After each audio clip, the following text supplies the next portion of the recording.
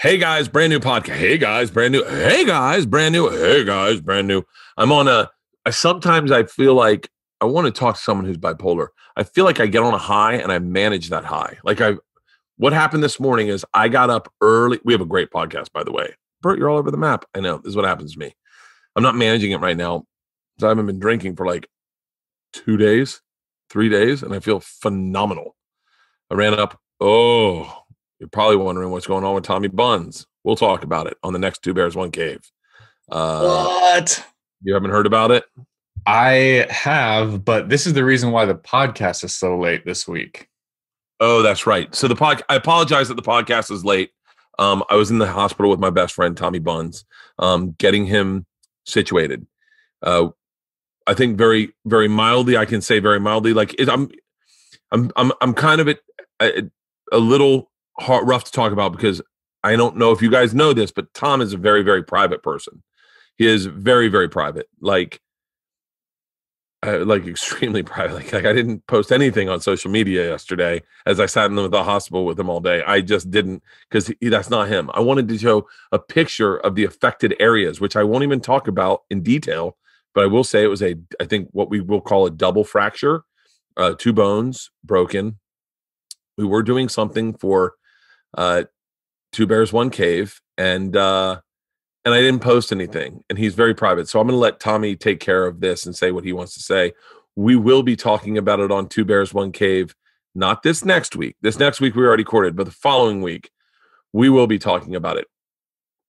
Probably not Tom maybe a guest host. I don't think he's moving anywhere for a while. I don't mean to laugh. I've been with him so much that I've watched him piss in a bottle. I've watched. I've I've seen him get loaded up on Dilaudid. I helped to had to help reset his arm. It's it's been it has been trying.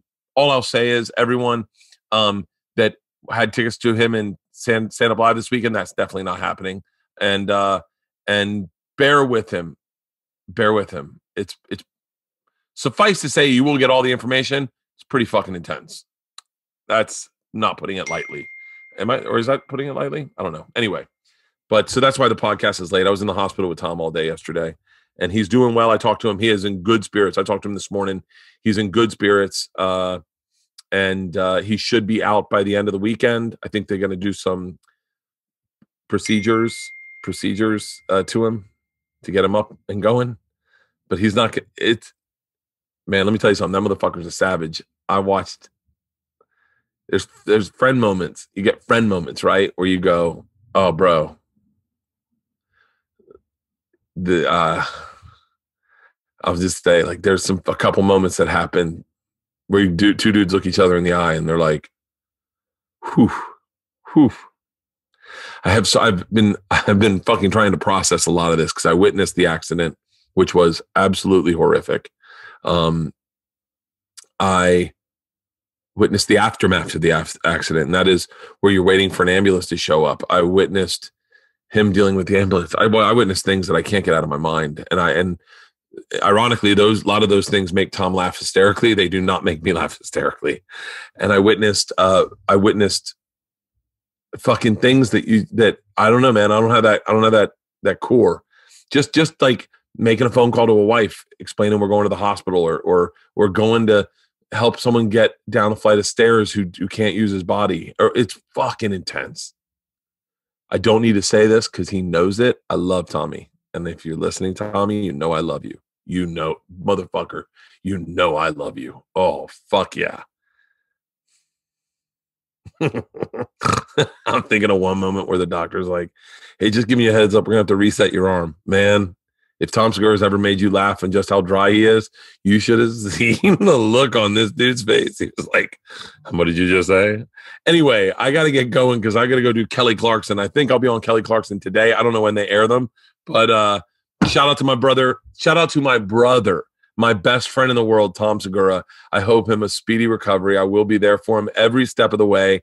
We are, have not announced it yet, but we shot something that will be happening coming up big show.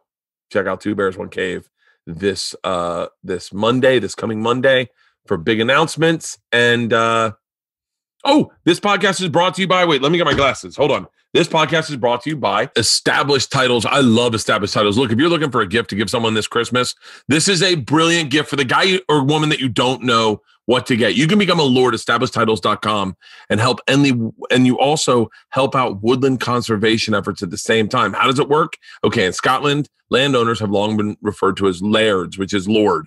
All you need is one square foot of land. Established Titles lordships and ladyships title packs are based on this historic principle of land ownership customs. They plant a tree for every order and offer a title pack with plots ranging from one square foot to 10 square feet in Huntly, Scotland. So you can make anyone, including yourself. I'm a lord. I'm a lord. I got a beautiful little picture, goes up, and the title pack start as low as $49.99. Come with a personalized certificate, which I am hanging in my new man cave, and a unique plot number, a plot dedicated land on a private state estate in Scotland Highlands that you can visit anytime.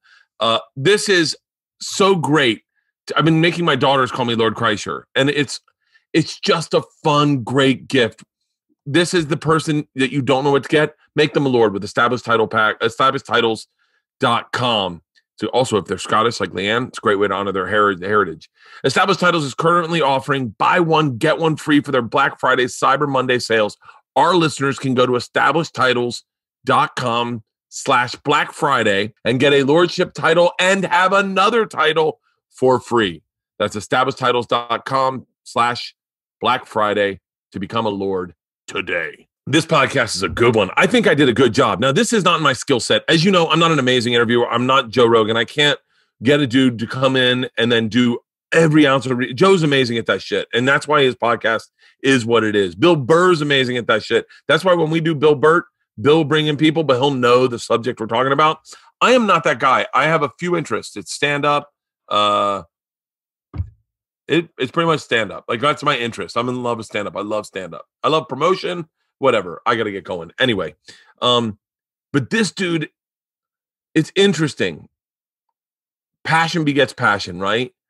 And Slipknot is a band where their fans are fucking uber passionate. So if you're looking for information on Slipknot, the World Wide Web is ready to give, and they give. By the way, I have so many fucking questions I wish because now I got into a Slipknot hole, right? I do the research, we get ready. I want to get ready for Corey. So I make, t- and now I'm like, I have so many questions about clowns. I want to hear about Sid breaking his heels. Like there's so much shit I want to know about Slipknot because the way it works is you Google a little Slipknot and then anything Corey Taylor. Slipknot apparently says they're going to release a new album next year. That's a new one, by the way. Just got that on my, oh, that's my phone number.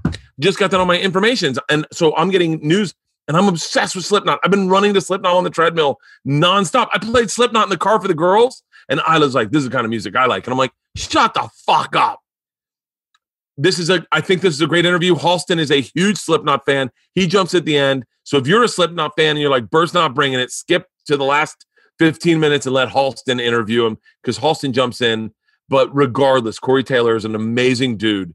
Amazing dude an amazing performer, dude. When we, you talked about vote, we talk about vocal warm ups. We talk about Slipknot. We talk about the mask. We talk about uh, all the all the layman questions. And then Halston, when we talk about vocal warm ups and and and albums, and it it's really fascinating, especially now listening to his music and going, "Fuck, how do you warm that voice up?" Without further ado, the lead singer of Slipknot, Corey Taylor.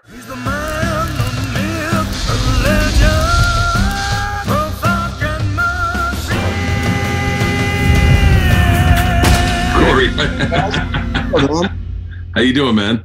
Uh, you know, quarantine life is awesome. Yeah, where are you? Are you in Vegas? Yeah, I'm in Vegas. Damn. What's has Vegas has Vegas shut down? Are we started, Halston? Yeah. Has uh, has Vegas? Uh, by the way, I got to start off and say thank you for doing this podcast, dude. You have no idea. Like I'm a I'm a big fan. So the, the no, second, for real. Like the second they said, "Would you like to do?" I couldn't hit yes fast enough. I was so down. Absolutely, dude. I I had a genuine spit take. I was watching one of your specials, and when you were sitting down for uh, I want to think, I want to say it was like one of your kids' like kindergarten meetings, and you had the you had the Bud Light in your fucking pocket, dude. I I I was fucking on the floor, dude. Oh, so yeah, rad. Dude. Like so, the feelings mutual. I fucking love it. I'm I'm just stoked to be here. I've been I've been binging Slipknot on the treadmill this past week. Oh, Like, right, right. nonstop. And and then uh, and then we're doing a movie, and uh, the for, based on the machine, and we Oh, were we had meeting today, and I said, you know, I got Corey Taylor on, and both fucking guys lost their shit. My my writer was the writer of our movie. It was like, dude, have you heard his new solo album? I mean, Black Eyes Blues. I mean, are you fucking kidding me? CM, CMFT, and I, and then and then my director was like, dude, you just fucked my head up. Now we got to get some Slipknot in the movie. I was like, fuck yeah, whatever, hey, whatever you guys want, man. Fucking, I'll, I'll, I'll get it cleared. Absolutely. dude. I Yeah. uh, yeah, it's been. uh And then I and then I was doing research today, and I was like, God, man, I feel like we could have been the same dude in in so many respects, and right. but except for the fact that you've been sober for ten years. But Yeah, yeah, there is that. Did you when you partied? Did you put just what was it about partying that you that like I never understand that that like taking it too far where you're like I gotta stop. I was well. I mean, I was the the perpetual binger though. Like I Really? didn't, I didn't have a off switch. I would wake up and immediately start drinking again. So I was like, yeah, like I was. My addictive gene is so gnarly. Like, and I have it in everything. I have it in Yeah. collecting. I have it in fucking candy bars. Oh, I'm fucking, I'm gonna eat twenty of these motherfuckers. Right? Uh-huh. it's that like I but I also have this weird switch where once I'm done, that's it. I'm done. And and I've like I've never done treatment. I've never done AA. I've never done anything. I just went done. And it's and it once I make that decision, I just fucking stick to it, man. So it's I don't know what it is and why, but dude, I would go. I can't if I had a nickel for every morning I woke up in a place I didn't know. I was just like, what the how the fuck did I get here? It's crazy shit, dude. So yeah, it's probably best for everyone that I've been sober. That's crazy. I have a I have that I have that impulse where I, I it's almost like my I go I feel like a shark where my eyes go in the back of my head and I don't see anything anymore. Right. And if I wake up, but not so much with drugs and alcohol. I don't know why, but for whatever drugs always scared me.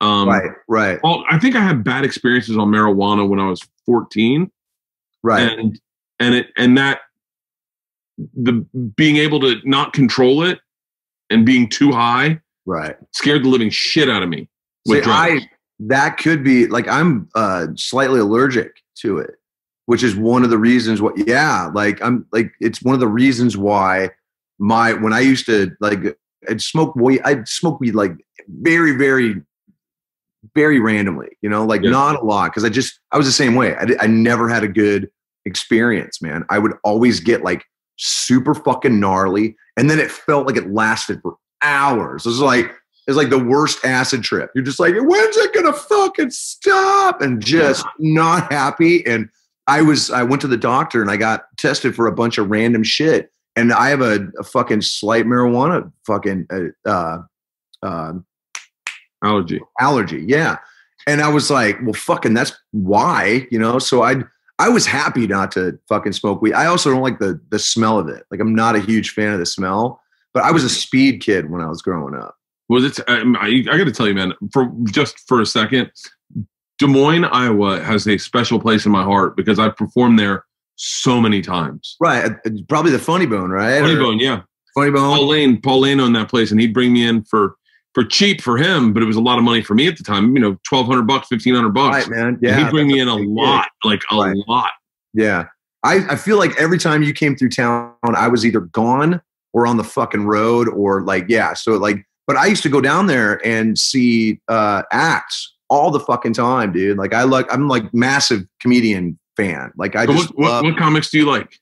well, I grew up with uh Carlin, Yeah, uh Pryor, obviously. But I like I liked like old Lenny Bruce, like the shit, like before he started getting like weird Yeah. stream of consciousness, like when he was still doing bits, like he was really, really funny, you know. Um, but I was also, strangely enough, I was a massive Cosby fan. So you can imagine what the last few years have been like for me. Crazy, man.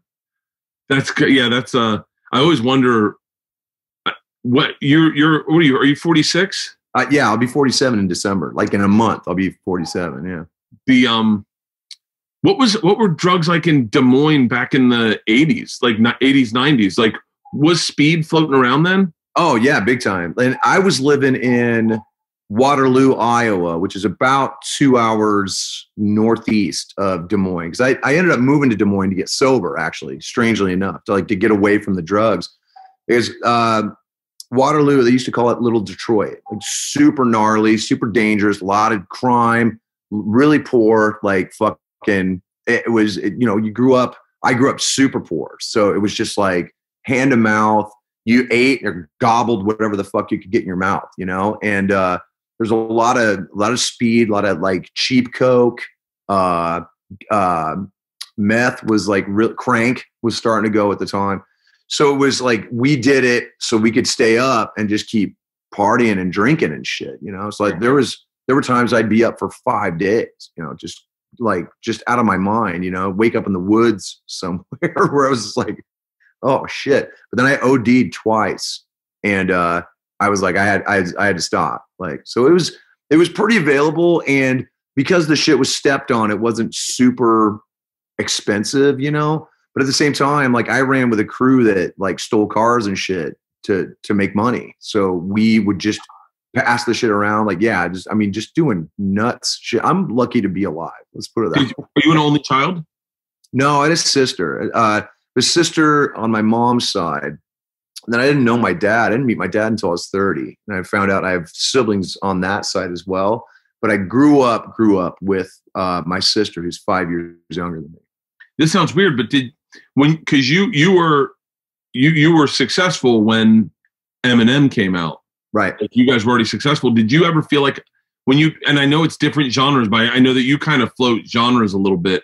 Did you ever right, feel like right. kinship to him, like going, "Oh, you grew up poor, I grew up poor, you made it out"? Like like I, I oh, let me, yeah, yeah, yeah. I'm massive, massive M fan, man. Like, and, and the thing is, is like I loved anybody from the from the Midwest because I still considered Michigan like the Midwest. Yeah, I loved anybody from the Midwest who made it. You know, like so. Not only was I into Eminem, but I was also into Prince because Prince was uh, Minneapolis, right? Yeah. So that was like to me, that was like the grail. I was like, oh fuck, you know. So it was like anybody like that, and especially knowing his background, I was like, dude was like looking in a fucking mirror sometimes. It was crazy. Yeah, so 311's from Omaha. right. Yeah, but they don't claim it anymore, which I think is horseshit. Wait, what do they? What do you mean they don't? Yeah, man. It? No, for like ten years they didn't claim Omaha. We went, and for the longest time we were like, they were like, we're fucking 311 from Los Angeles. I'm like, you're full of shit. God damn it, you're from fucking Omaha. we used to see you at the Ranch Bowl, you pricks. You know. So I'm an asshole. Don't listen to me. What was the first? I'm always fast. I'm fascinated. There, there, are like themes that I that um that amaze me, and and one of the ones is I, I, want to talk first about like what was it like to get the first hint of success. Oh man, I mean, well, I mean, there were certain levels too. I mean, because so there were the levels. Like you, so you go, you you're in, you're in, um, you're in, um, uh, fucking Stone Sour before right. Slipknot, correct? Right. Yeah, yeah. And so you're in Stone Sour. You join Slipknot. Slipknot kind of blows up. Yeah, yeah. I mean, they were Stone Sour and Slipknot were the the the two biggest bands in town in Des Moines, and Slipknot was basically almost like the super group. It was made up of people from other bands that were completely driven, completely creative, completely artistic, like wanted it, like really wanted it, like wanted it like I did, you know? And when they asked me to join, it was almost like the the, uh, the missing piece because their original singer was really good. Andy was amazing, but he couldn't do what I do, you know? And once we did that, it like the ceiling kind of exploded and there was really nothing that we couldn't do. So about a year later, we got signed you know, the, a year from the uh, basically a year from the moment that I joined, we got signed. And this is 98, 99? 98. Yeah, we got signed in 98. And then the first album came out in 99. So it was, I mean, we hit the ground hauling ass, you know? You guys the were so, you guys were so different than anything out there, but so right. of that time. We were just having this conversation because of that time is, is, um, really big at that time is like Korn, Limp Bizkit. Massive. Yeah, yeah, dude. Yeah. And it was keep going. We took all that shit and just fucking amplified it, you know? We were made up of people who we were look we were waiting for somebody to make the perfect type of music for us to listen to. And because we couldn't find it in one spot, like we could hear elements, but it wasn't complete, we decided we're like, well, fuck, if nobody's going to do it, then we'll do it ourselves. And that's one of the reasons why our sound is so, um, it's, it's, like it's it's specific but it's not you know? Like it has so many different elements from so many different other genres because we were such massive fans of hip hop hardcore uh you know grindcore fucking uh 80s pop. Like i mean we just had so many crazy things going on and ideas that we couldn't contain it in one little thing. And, and it just just fucking came alive And so, what was the first hint of like of like like the first game changer where you're like, oh fuck, this is like. I remember for me, it was like when I got a tour bus, I was like, oh shit, that's a big moment yeah this is a big moment. I mean, I remember I just and that was like my first theater tour. I remember the first time I did a theater, I was in Boston, and I went. It's crazy because you guys have nine people, but at the time it was me, and I had this weird, surreal moment where I thought, oh. It's just me. I got no one to high five. Like I, right you're like on a bus by yourself Yeah. But it's it. rad though, dude. Like you get used to it, and and we've all done that over the years. Like we've gotten our own buses so we can bring family out and shit. The first mo- the first time for me, there were three. There were three moments. The when I felt monetarily stable, that I could pay my bills. That was like a big thing for me. Like because I was always like, even with all the jobs I worked, man, I was always just like, it was almost like I was trying to keep up and shit when I realized that I didn't have to worry about the next paycheck, that blew my fucking mind. Like for me, that was like a that was a big moment. It was like, wait, I'm doing what I love, and I also don't have to really worry about that. You know, the there were two moments that really put it put it together for us. Was the first time we played London, and when we got to England, it was dude, it was the Beatles. Like it was fucking insane, dude they, we played this show at this place called the Astoria, very uh, famous place. It's no longer there anymore, which sucks. It was such a fucking wonderful shithole. It's the best fucking place on the planet, you know. Um, and we walked out on stage, dude.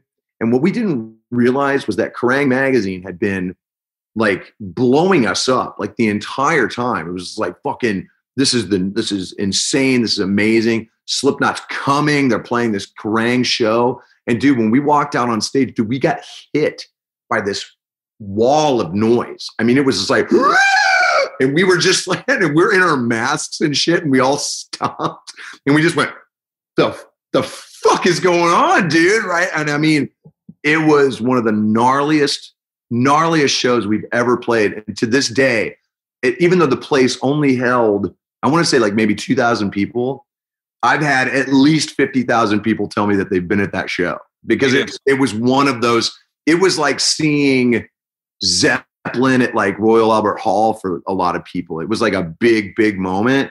And I can just remember going, dude, something's going on, you know?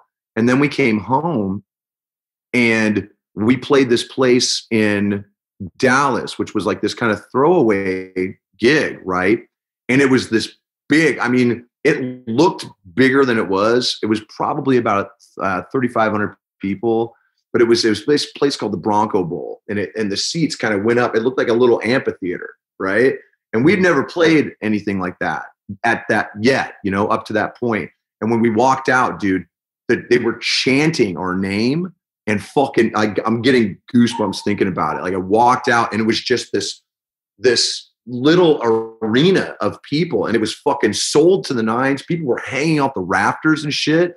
I was like, okay, this isn't, this has completely exceeded our expectations and we Yeah. didn't know what to do. And then literally a month later, we went gold. And then what, like two months later, we went platinum. And then it just started fucking going crazy.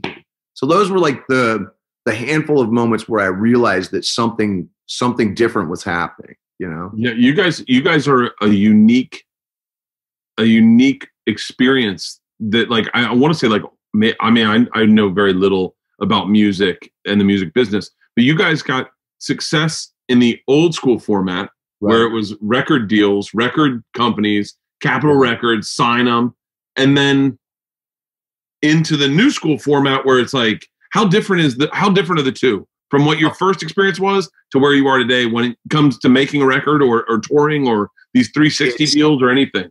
dude it's fucking night and day. I mean we were kind of grandfathered in in the old the old system you know? Mhm. like our original deal and i can talk about this because it's almost up was uh seven, seven albums for i can't even remember what the what the the number of years is. Uh i think it was like 10 years or something like that and it was in in our contract there was like this there was this clause about the new technology of compact discs. I fucking shit you not. Like, and it, and my manager was talking to me about. It. He's like, "Do you realize what they had in your fucking contract?" Yeah, I was like, "You got to be shitting me, dude."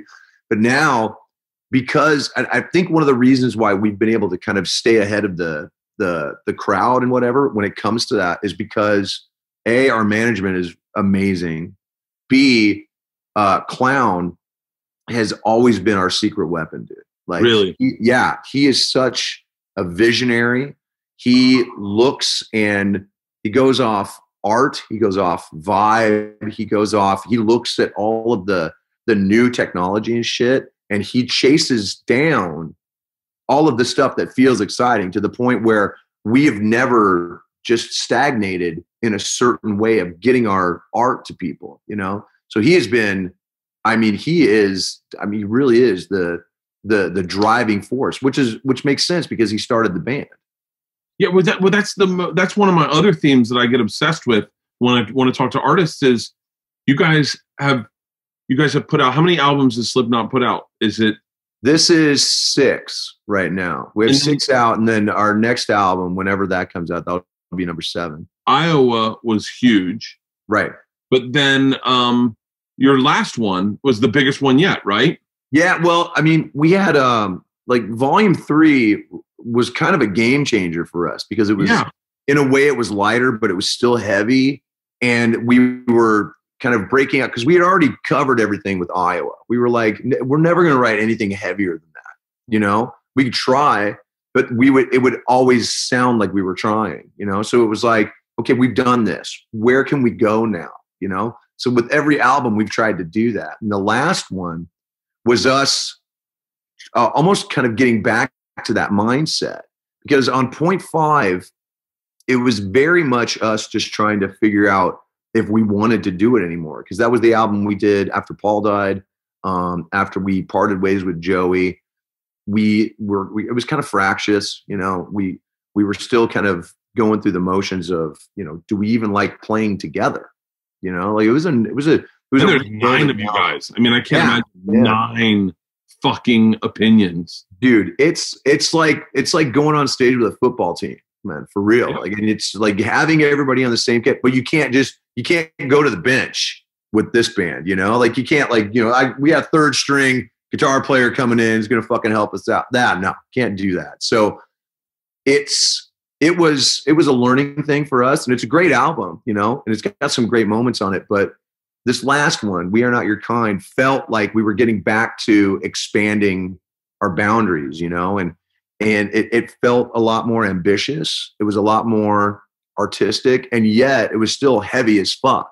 Still had the hooks still had like all these things that we'd been you know trying to incorporate over the years you know and uh and i think that's one of the reasons why like people really fucking caught on to it Yeah, well, that's I mean, that's like all the the true testament is can you put out a like can you, I and I always bring it back to comedy is is like your first special is it good? That's great.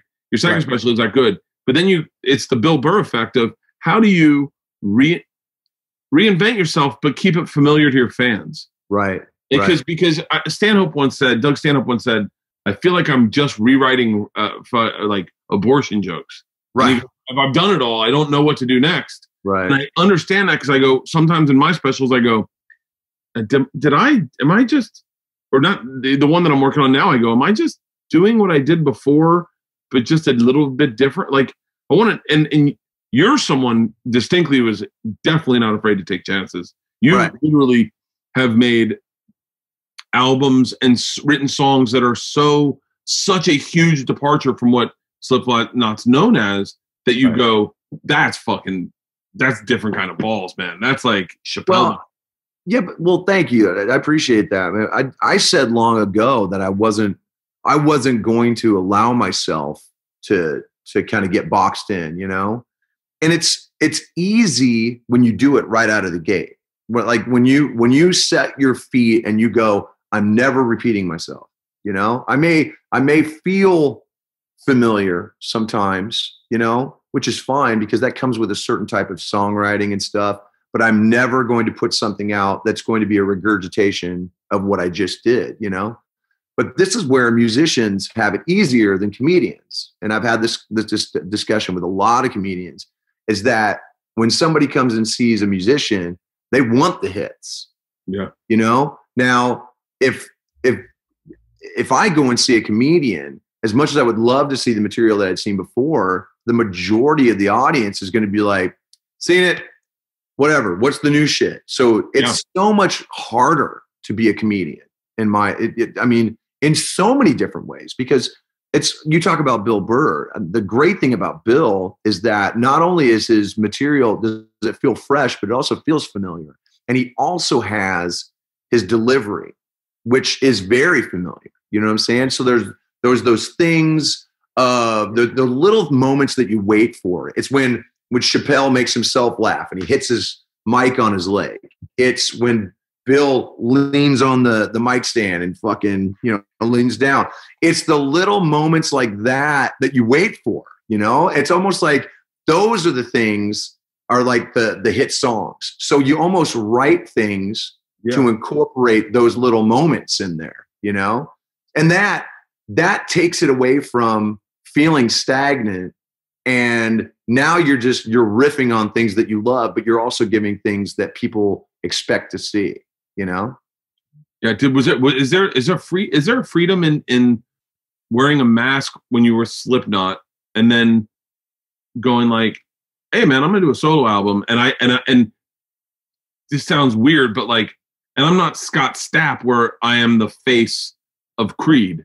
right right Like when Scott, whenever Scott was, I know Scott, and whenever I feel like whenever he does something, you go is that's it's Creed in a weird way. It's Creed. It's the voice of Creed. It's the sound of Creed. Like right even like even Eddie Vedder, I feel like sometimes you're like, you know, and Pearl Yeah. Jam's got such a distinct sound, and and they, but like when he does the ukulele stuff, you're like, oh, the band's just backstage. right.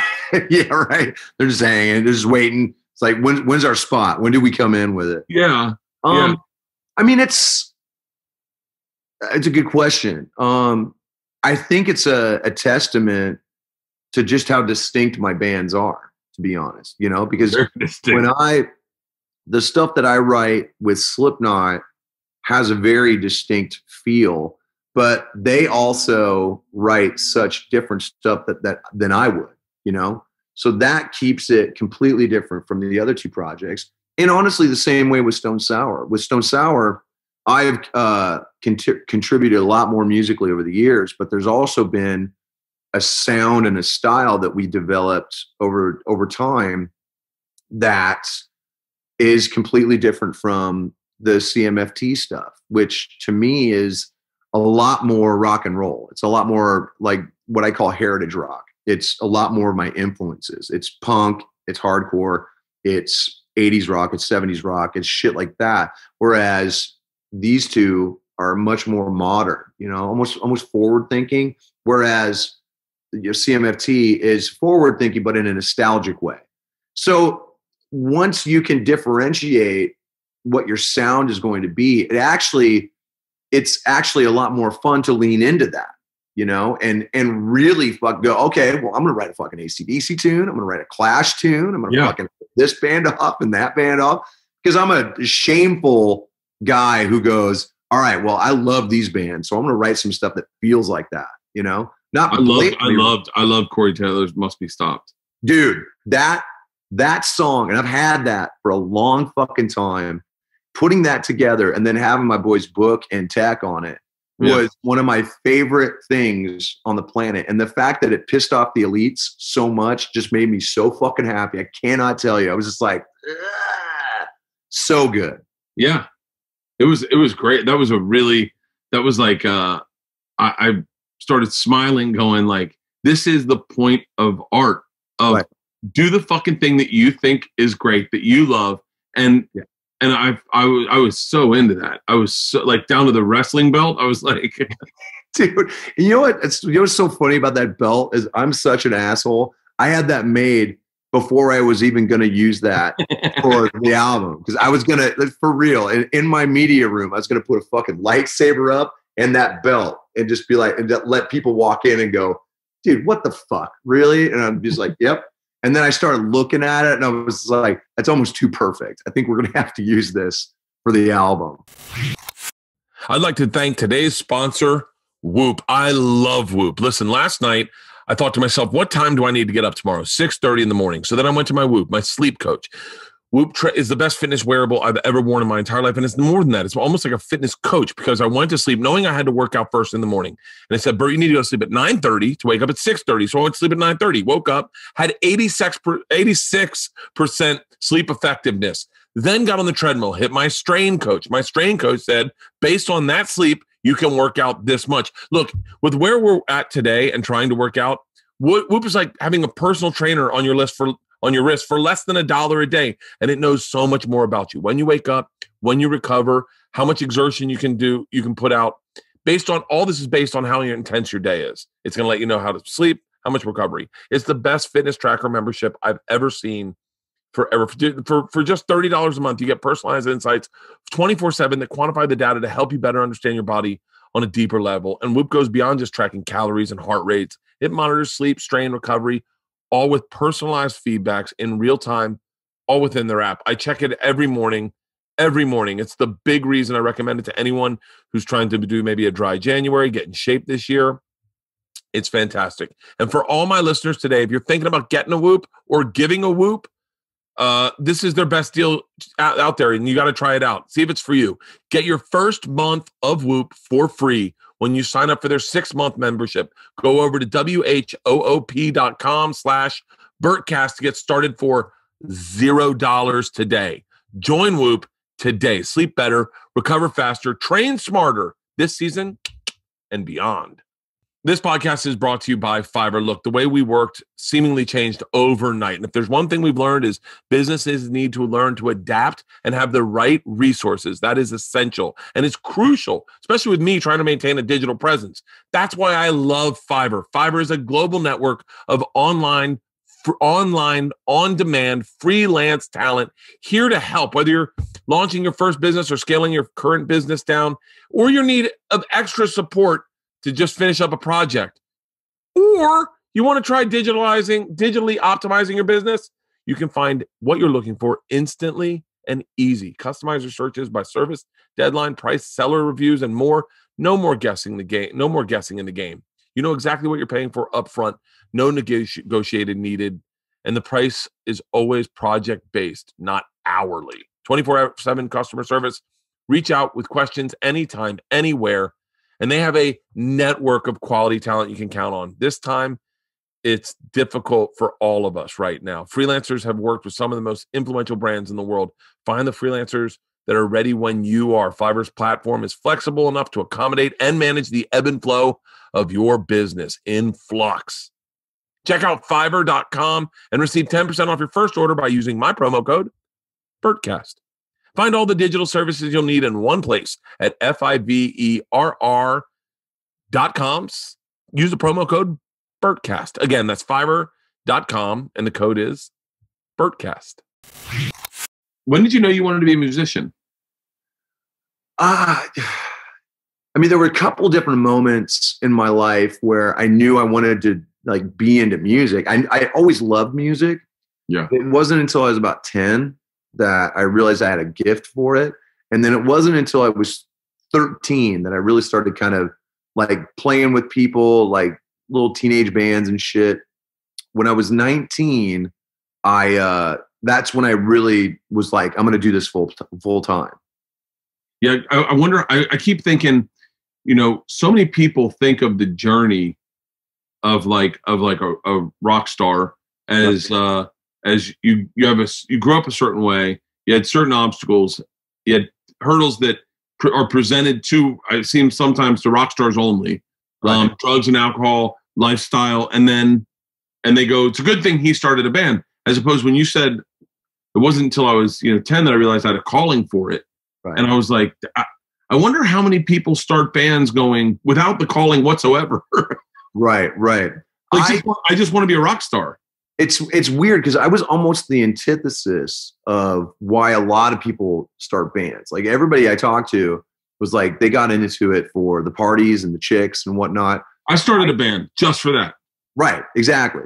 I was the absolute opposite. I started a band specifically to write songs and get them out of my head. Like that was the whole reason because I could get chicks and party on my own. Like, I don't need a fucking band for that, you know? Like I was, you know, about 50 pounds ago when I was 19. I was fucking, you know, pretty hot.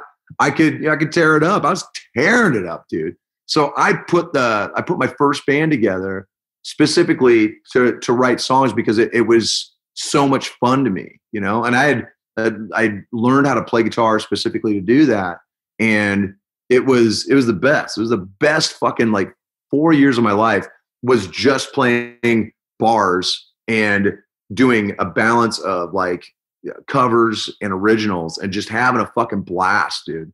Is there is there somewhat of a, a I always say, uh, by the way, that I say this too much, but I, I say there's like I get a survivor's remorse having succeeded or gotten past the hurdle of being able to get to the place where you're fortunate Right. enough to do theaters, Yeah. but then I, I really connect as an artist is the guy in the clubs. Like that's being at the Des Moines Funny Bone. That's who I am at forever. That's who I'll always be. Right. And what, do you look at bands when people are coming up, or do you look at your friends who started bands and go, "How did? How come that's not me? How come I didn't? How come? Why did I succeed? And how come he didn't? You know? I mean, it's maybe early on, but we also spent a lot of time trying to help our bands, our our friends out. Like we got a lot of our friends like development deals. We took them out on the road with us. Yes. Um, to this day, I mean, my my CMFT band is made up of people who I've jammed with for some of these guys going on 17 years. You know, like uh, my best friend Jason plays bass. Uh, my buddy Dustin plays drums, and I took his band Walls of Jericho out a million times, and he and I have done stuff in the in the in the past. And then Zach and Tooch, I mean, Tooch was uh, ended up in Stone Sour for a while, but I've known him for another 15 years, and same with Zach. So these are dudes who I knew were working and doing it, whether I was going to do a band or not. They were working and doing it, but I also knew that I wanted them with me as not only as players but as friends. So I always, I don't know. It's it's one. It's it's it's almost like it's almost feel like feeling like you have to apologize for being funny. You know what I'm saying? Like it's like I'm sorry. I'm sorry. There's something that appeals to people about me. You know. And I've wondered that over the years. Is there something about my voice, or is there something about Yeah, like it's so it's so a lot of a lot of guys can sing, but for whatever reason, when you do it, it's different. Yeah, and and I don't know why. And I know I don't know if it's just people feel it more or whatnot. I mean, it's something I'm definitely very grateful for, you know. And it's also And you and you can't and you can't you don't have the like when not not to shit on Sebastian Bach, but when Seb- Sebastian Bach can fucking sing, but he also was beautiful like a woman. Right. So Yeah. Dude, like, one of my heroes, man. You know, like oh, I got high with Sebastian Bach. Skid Row albums are amazing, and I'll fight people on it, fucking for real. Like, Uh, but at the same time, the thing about Sebastian when he first started was he also had that crew writing the music as well, man. And those five dudes were so good. I mean, you could hear the way that that Snake and uh, and uh, Scotty, the way their guitars blended together, the way Rachel could put bass lines together and write lyrics, the way Rob played drums. There was something. It's it's just like the original five Guns N' Roses guys. There was something so special Yeah. about that chemistry, man. You know, that we forget sometimes that Sebastian was just the icing on the cake for that. You know, he was the perfect voice for that music. And that's why those albums are still fucking so righteous, man. dudes uh i when i was in russia i would play that song. Woke up to the sound of poor. Oh yeah, I remember you. It's yeah. just a G and a C. I would Yeah. play it, and you know, you do a little little pick at the end and a little pick at the beginning, Right. and I'd play it for the Russian mob, and they were they were just like, "This is fucking great," but they thought I wrote it because they had never heard they didn't never heard any of the fucking music over there. So they're like, "This guy's fucking amazing," right. and but they didn't understand the lyrics. Had they th- had I been able to slide lyrics into them, they would have been like, "Dude, you should start a band." Uh, right. Yeah, totally. It's like you fucking we're gonna get you signed. We're gonna handle all this shit for you. I, and then I explained to them, I can only tour Russia, okay? right. Yeah. Oh yeah. Yeah. We we can't go as maybe the Ukraine. We'll touch on the Ukraine, but nothing nothing outside this curtain. It's like that movie yesterday with with did you see that movie? Yeah, man. I thought that was such a novel idea, you know, but it also speaks to the power of those songs too, because Oh, I mean, it's crazy, right? I'm not one of these like the new Beatles haters, which I think is Yeah. absolute fucking horseshit. It's just like get over yourself. It's one of the reasons why all these like this younger generation is trying to rip off older bands, but not give them the credit because they want their generation's Zeppelin or their generation's fucking, you know, Linkin Park. It's just like, go fuck yourself. Can't Yeah. I, I'm a sucker for any I'm a sucker for any first of all, time travel movie, uh parallel universe movie. right. I I do- I have a I have a very hard time with horror movies. I cannot they scare the living fuck out of me. Like like scare me in a way where I go, I'm not enjoying this. Like this is, this is not fun for me. And and and there is and there is a part of that. Like some of the Slipknot masks genuinely scare. Like genuinely, I go, I go, hey man, that's whatever brain ha- thought that up is. Yeah. So wait, I want to talk about horror movies with you because you love horror movies. Oh fuck yeah. Yeah, absolutely. So what is it about a horror movie that is like a warm blanket for you that that you go like this is what I'm talking about? I, you know, I think it's because it's the same reason why I love like like really good heavy music. You know, it's just there's something about it that triggers something that I just this fascinates me, man. I mean, you got to understand, I'm not a massive fan of like super gore. You know, I also define, define define what a good horror movie is for you. uh, I mean, obviously, the original Halloween is almost a perfect horror movie to me. You know, it's it builds the suspense. The whole last act is just fucking chaos. You know, and you're like, at, at some point, you're just like, where the fuck is he now? Where, gee, where? God damn it! What the hell? You know, like that to me is it's perfect. And if you notice, there's very little blood there is no real gore. They didn't really get into that until Halloween II. Um, it's really suspenseful. It's honestly, it's it's very Hitchcockian, man, where you never know where the threat's going to come from.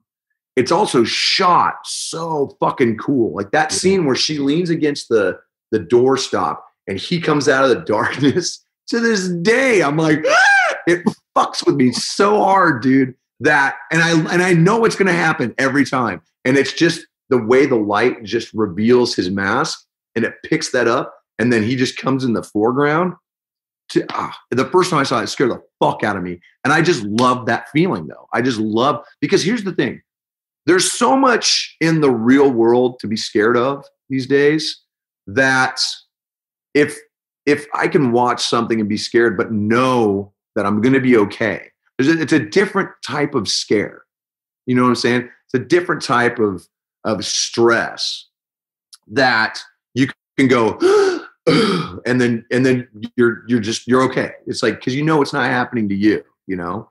That's interesting. I used to say I used to say when I got on planes and I was drinking, I was like, I'm probably killing myself by drinking on this plane, but at least I'm killing myself tomorrow, not today. Right.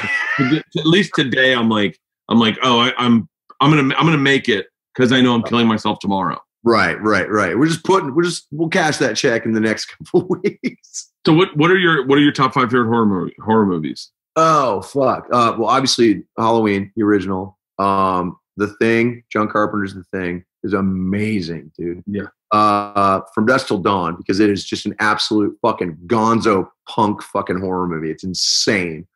Um, The Lost Boys, dude, so good, right? I mean, super underrated too. Like people forget that that's a horror movie, and then uh, yeah. so fucking cool, you know. Um, and then uh, Aliens, the second, the, the second one, because I love the first one, but Aliens is so much like extra and more that, and you can watch that as an action movie. It doesn't have to be a horror movie. You know what I'm saying? So it's like Yeah. you- I love movies that you can watch from a certain point of view in different headspaces. You know, like fucking like from Dusk Till Dawn. If you if you took out a lot of the kills, that's a comedy for fuck's sake. Like that's a road movie, you know. But there's so many great horror moments and so many different textures in it that it's just it, it keeps me coming back, going, "Fuck, that's a that's a great performance. The way that was shot looks great. The fact that the blood is green instead of red, you for it, it takes you out of that gore fest, you know." Yeah. Do- Try to explain to me. This is, by the way, this is a broad thought that I'm asking you to define. So, like, so like, there seems to be a love with so many rock bands with horror movies, Right. and then the softer the music, the less it seems like they like horror movies. Does that make sense? All right. Okay. Like-. So, what is the musicality? What is the chord structure or the, the type of playing where you go, as soon as you start playing a straight up uh, this, you're no longer in the horror horror genre of Rob Zombie, you Right. guys, Marilyn Manson. Like, like what what is the musicality in that that separates the two? Do you think? I mean, that's like- a good question, man. I, I think it's uh you go from fuck, you go from a hard R to PG thirteen, like really, like really quick, you know, which is weird because PG thirteen used to be a lot scarier. Yeah, When we were kids, dude, fucking gnarly. Um, I would say it's the difference between, you know, Dokken putting something in Dream Warriors and Jon Bon Jovi putting something in Young Guns II. You know, like there's, there's that little wash in the middle, you know, where you're just like, "Yeah, you tell by the jeans they're wearing on stage if they're going to be into. right? Totally. And that's not shit on him. It's just like, okay, okay, we get it. But you were also in Sex and the City. We're not going to let you forget that. All right. Just saying. Oh, that's so great. What are some like? I'm a, I'm a big fan of uh the uh, like. I'm a big fan of Blind Melon, right? Like I love, right. Right. Interesting. love Blind Melon, and it, and I feel like when you say that to people, they go, "Oh, the uh, Bu- Bumblebee Girl," and you're like, actually, Oh, there's so much more than that. there's so much more than that. Yeah. What are some bands that you're a fan of that you go? Like I know that you're a fan of Faith No More, Yeah. and I f- I feel like Faith No More is one of the most underrated bands in the world Absolutely. not to like people who know music, but to people who just the passerbys, like my wife. That Right. fucking epic is, I mean, epic. I mean, really, genuinely is epic. Yeah. That, I mean, that band, and I, I mean, I go back like Chuck Mosley years, love them, you know, Yeah. like the, Faith No More to me, and it, as much as I love Mike, the, the, the rest of the band really gets overlooked just by how creative, how good they were and still are, man. Yeah. Um, I, God, you know, there's so many bands to me that had had a had a hand in kind of creating who I am, you know. And Faith No More was definitely the band that kind of opened my mind to the fact that you can do anything. You know, unless you lock yourself in a genre, you fucking do anything. Who cares what anybody you know, who cares what anybody thinks? You know, who cares what anybody thinks? And I'll be, I mean, I'm probably one of those people who loves angel dust more than uh, the real thing. Because like angel dust was taking it in a, such another direction. I mean it's i mean midlife crisis is probably one of the most perfect like pop heavy tunes ever written because it, it just it's such a fucking journey. And that song just keeps building and building and it's it's amazing. So good. Yeah, I I love that. I had a summer where I just listened to Faith No More, but it was it was at a party. You always you always get like that one friend that can appreciate music better than you, right and and just and goes, oh, you're not listening to it right. You're like, what? You're like, oh, you gotta listen to like for me, on Blind Melons, my my buddy was like, "You got to listen to Changes," and I was like, "Is Right. what's that?" He's like, "You just listen to the one fucking hit, and then you didn't listen to the rest of it." Right, And right. there's that is the majority of of of People. that's the majority of music listeners, but not the majority of Slipknot fans. No, Like- no. I mean, there's, there's, yeah. I mean, it's very rare that you find a casual Slipknot. fan. You do not find a casual slip like if you guys are the only band. I one of the only bands. I feel like I feel like this is going to sound crazy. What I'm Yeah. about to say. You guys are like in the same way that Widespread Panic and Phish could play any song off of any of their albums and their fans would lose their minds. Right. You could play any number of songs off any of your albums. Does not matter, and they'd be probably more excited going. They never play this. Right. Yeah. And that's you're absolutely right. Like it's and it's and I absolutely get your analogy to be honest because it's like it's like a dead show in Yeah. a way, you know, where they'll, they'll dust you know they'll dust off some fucking crazy shit from you know like 66 and people are oh my god they haven't played that since 1973 when they're in a fucking like just weird weird nerdy shit you know we um for the longest time we had, had never played Metabolic, the song, uh, which is probably one of the heavier fucking songs off Iowa. And the fans would just beat us up. This is like one more tour. You never fucking played Metal like Metabolic. We've, we've been asking for 10 years, you know. So we threw it on the set on the point five uh, tour cycle. And people lost their fucking minds, right? But we had also taken out Wait and Bleed, which was a bold move. I mean, because at this point we have so many songs Yeah, that you have so many like- songs on YouTube oh. that are just Right. over. It's so many songs that are over a hundred million views, and you're like, I mean, it's just like insane. yeah, it's crazy, dude. But here's the thing: we were playing Metabolic, which people had been beating us up for for 20 years, right? And because we didn't wait, we didn't play Wait and Bleed. We had people ripping us to shreds.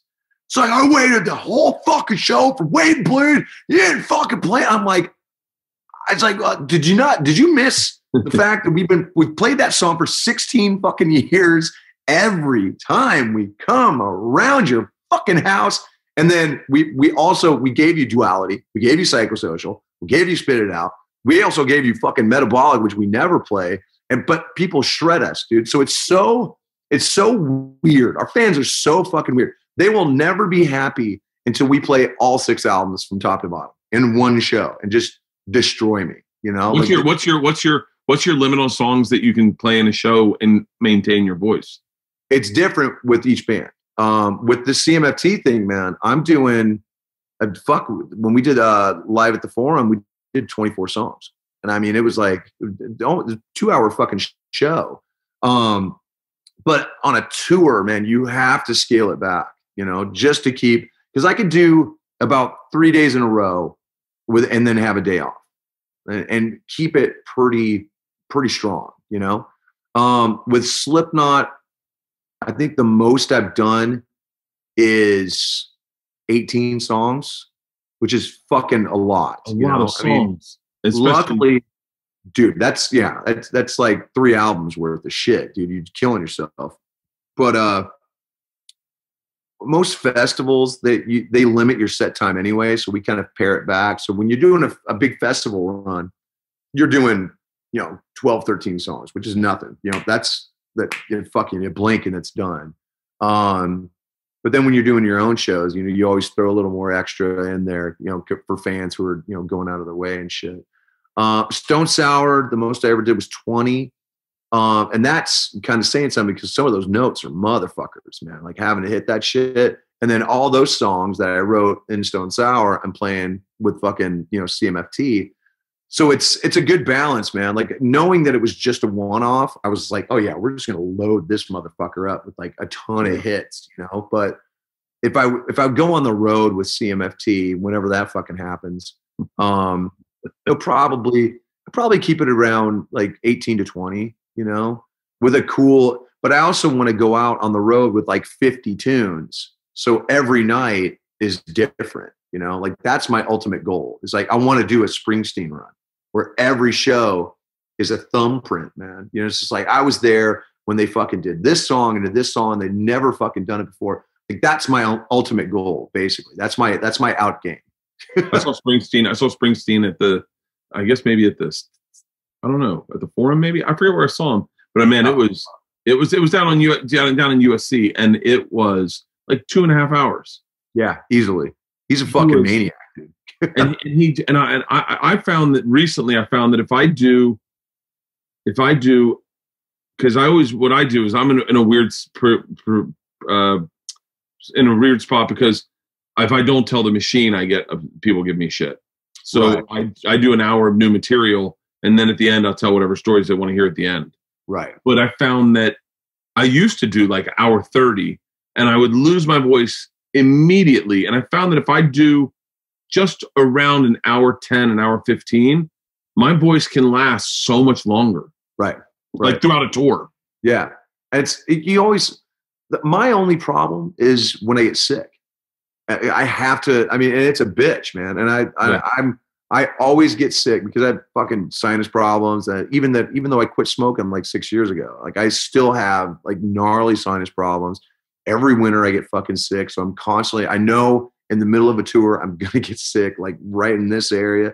So I prepare for it, you know, like I know I've I've developed like six or seven ways to kind of get through a, a show just by being sick, you know, just because I have to, you know. I, I can get through a set. I can get through through a set without my voice. Oddly Yeah. enough, I mean, it's it's crazy, man. Like you and you have to know you knowing your body is so key to getting through a show like that. So and I did I did um when I when my when I did my first book, I did a, a massive book tour uh where I was doing like you know, I was talking for about an hour before I and then I would play for like 2 hours just acoustic, you know.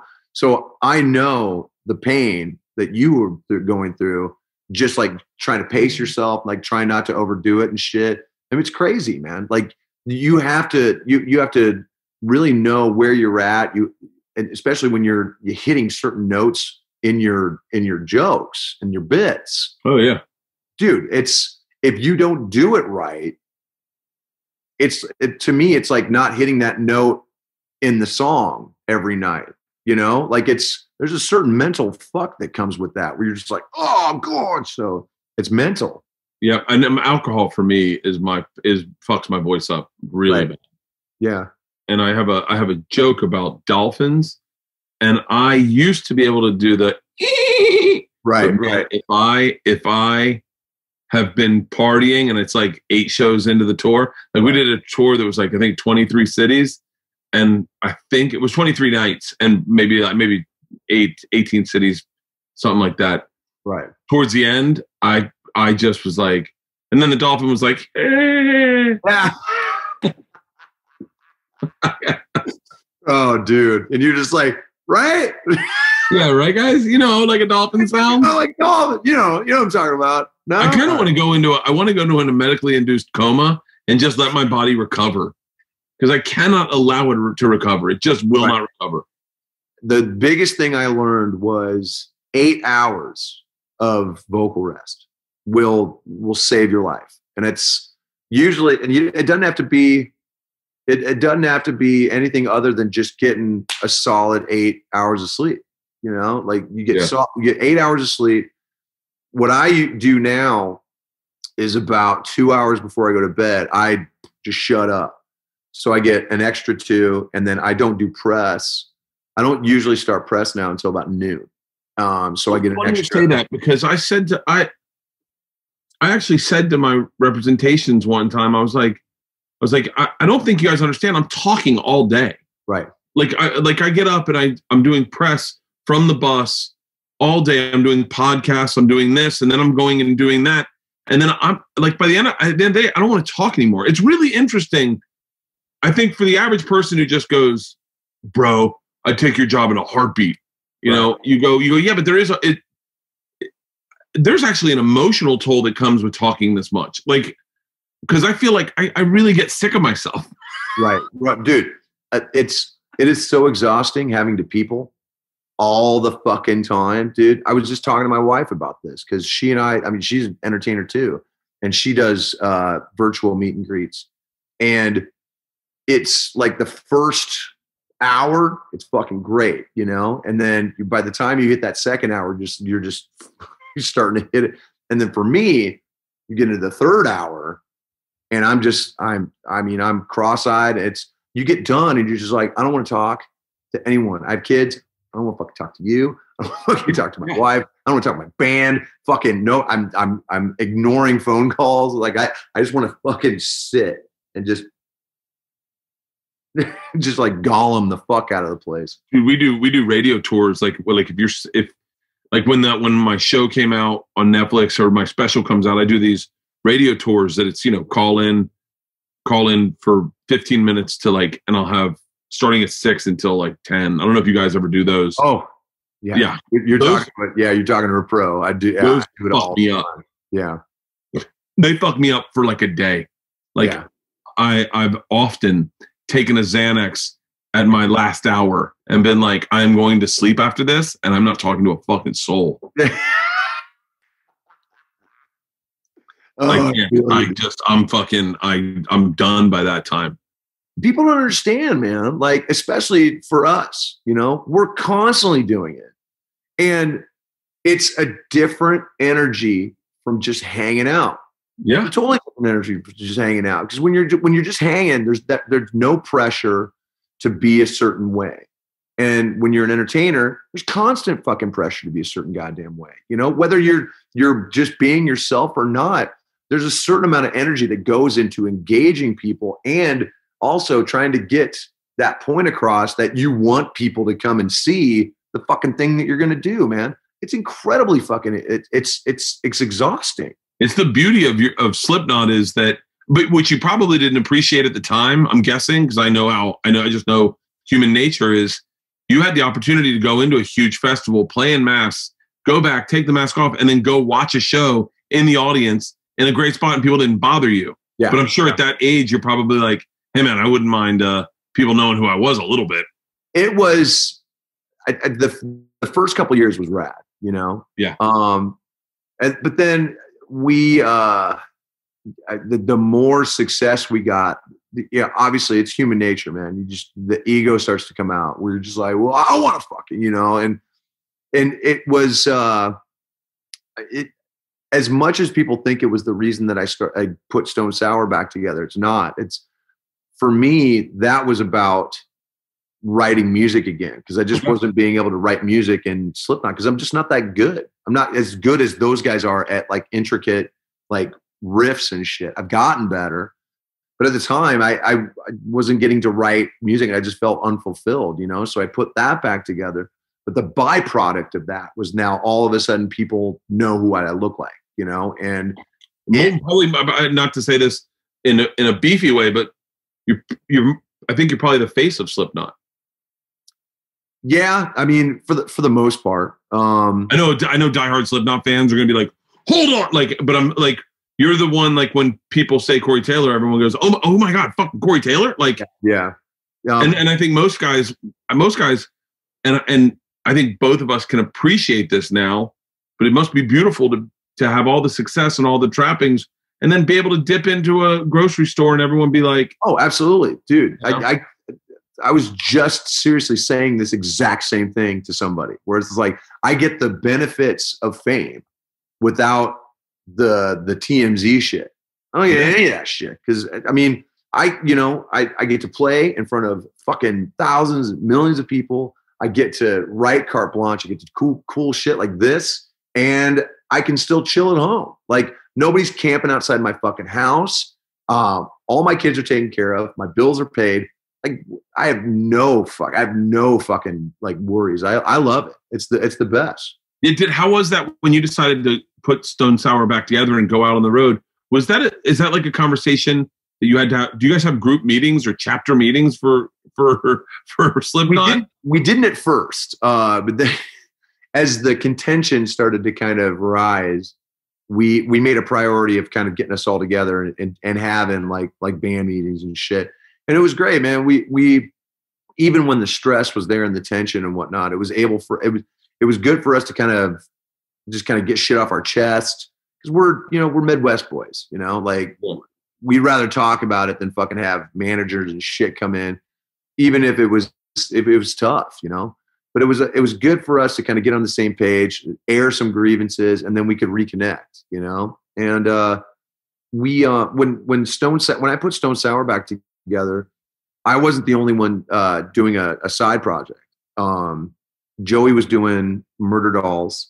Clown was doing uh, something that was called the Orange, but then became to my surprise.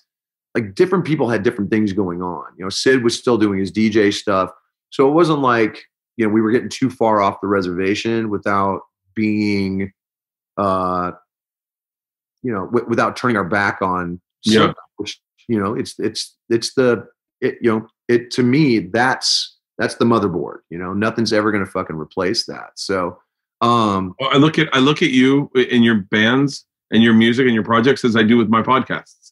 Like I Right. go, I have three podcasts. I have Bill Burt, I have Two Bears, One Cave, and I have Right. Bertcast. And Right.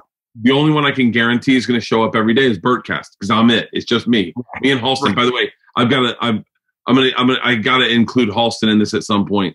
He lost his fucking shit. He's a musician. He's my. oh, really? My my po- my producer, and he is a huge Slipknot fan. Like Huge- cool, man. a huge Corey Taylor fan. More Oh. importantly, um, but so I got to bring him in in a second, but not yet, Halston, not yet. So, uh, what what what what places can you guys can Slipknot not play? Because like, are there are there like I, I just assume that if you guys go to Iran, they're like, whoa, we don't like the occult here or something, you know? Right, right. We've been banned from a handful of places. Um, fairly certain we'll we'll never play China. Um, That's crazy. I think they would fucking you'd go bananas. oh no, they they the fans would love us, but the the, the government they don't want anything to do with us. Um, we've actually tried to book shows there, and and they've they've shut it down. Yeah, it's uh it's crazy. Um, we were banned in Ireland for a while. Um, yeah, uh, because we were satanic. Yeah, well, I mean, it's I, I don't even know why. It's like for some reason people just thought we were satanic for like the longest time. Probably because of the heretic song, but Yeah. if people really knew, they'd know it wasn't about religion at all. You know, it's not about Satan. It's just we're using that as a metaphor. Yeah. Um, we were banned in uh, Athens, Greece, uh, because because they that they thought we were fucking satanic. I mean, it is funny. I mean, a lot of those bands uh, have have been lifted, uh, but the Chinese one is like, no, no, it's I bet- That's never going to happen. I bet you guys are fucking huge in Finland. Massive, yeah. Like, dude, we. But here's the thing: the that whole Northern Europe, that Scandinavian era, was hard for us to crack at first Really? because there was a certain stigma stigma about Slipknot uh, for the longest time. We were still lumped in with with nu metal for the most part. You know, really largely because of the time frame when we came out. What was Even new, though- nu metal? New metal is is Korn. It's uh, Limp Bizkit, uh, like a handful of other bands. For the longest time, nobody wanted anything to do with nu metal, and because of black metal and like progressive, like what they call uh, uh, not speed metal, but power metal, that was massive up there. And because people looked at nu metal as like lower, Yeah. we we didn't get any love up there for like the longest time. It, it it took us getting up there and playing in front of people and showing them what we were that that they they really started to to respond to it. You know, but it was like um, it, the, a perfect example is for the longest time people looked at nu metal as people from the grunge era, era looked at 80s hair metal. It was the same kind of vibe, you know. Oh, interesting. So yeah, yeah. I mean, it's and which is weird because there's so much fucking good music in that nu metal era, and people forget how fucking massive Korn was. I mean, at at one point, Korn was bigger than we were. I mean, just they were the end all fucking be all. It was insane, you know. So I, I think it's because that bubble burst and kind of collapsed on itself, and uh, and because that that era the area is uh, uh, it, they're just a little more for lack of a better term snobbish when it comes to music you know Yeah. um, if it's not Norwegian black metal, a lot of time they don't really want to hear about it, you know? So for us to be able to crack that, that, that, uh, that territory was actually pretty massive. Well, there was, and there was a weird thing about rock stars who had nice cars versus rock stars who uh, just did, you didn't, you couldn't imagine in a nice car. I remember that way with comedy. I remember asking um, Bobcat Goldthwait like what kind of car he had, and he was and he stopped and he was like, "Why are you asking me that?" And I go, "I don't know. You, you don't seem like a guy who would have a nice car, even though you have money. I don't see you don't seem like a guy who, who would it would that would matter to." Right. And he goes, he's like, he goes, "I just got rid of my good. I had a great. He had an old like Cadillac convertible or something." And he goes, Oh, and wow. he's broken down, and I just bought a brand new Mercedes, and I'm having a hard time being the guy that owns a Mercedes. And I was like, that's so interesting. And Korn and Limp Bizkit were bands that were very comfortable in success. Like, Right. like it was like, you know, nice cars and nice things and and shiny outfits and and and, and as opposed to what grunge was before that. And I'm sure what they held, you know, that death metal too, black metal too, was like, Right. they were I'd, I'd like to think that that whole nu metal wave was so important to that next wave of american heavy metal to be honest like oh, oh, oh, it was you know by the way, it was so i mean to this day if i'm gonna jog it's got to be something from the from 98 99 2000 yeah. I, I that's what makes me run. And and I'll, I'll say this unabashedly i am a huge fucking limp Bizkit fan. I'm a huge fred durst fan. Yeah. like i have a good fred durst story. I met i, I know him now so like i've Right, texted with him stuff. But one time one time i think i told him this. I was in the Gelson's. He lives near me. And uh we were Okay. and I was at the Gelson's and I saw him. It's early in the morning. Like we're one of the maybe 10 people in Gelson's and I see him and I'm like, okay, all right. I can't hold myself back from when I recognize someone, I'm going to say fucking hi to them. I, right my right whole life. So I go, I'm going to, I'm to, I see he's in here. I'm going to make sure that I, I'm going to time it out right. I'm going to figure out what I'm going to say. I'm going to just do it real quick in passing and then maybe we'll stop and we'll talk. right And uh, so I start, I see him and I start making my way to him. And I'm like, all right, here we go. I'm going to say something in three, two. And he looks at me and he goes, don't do it. And just kept walking.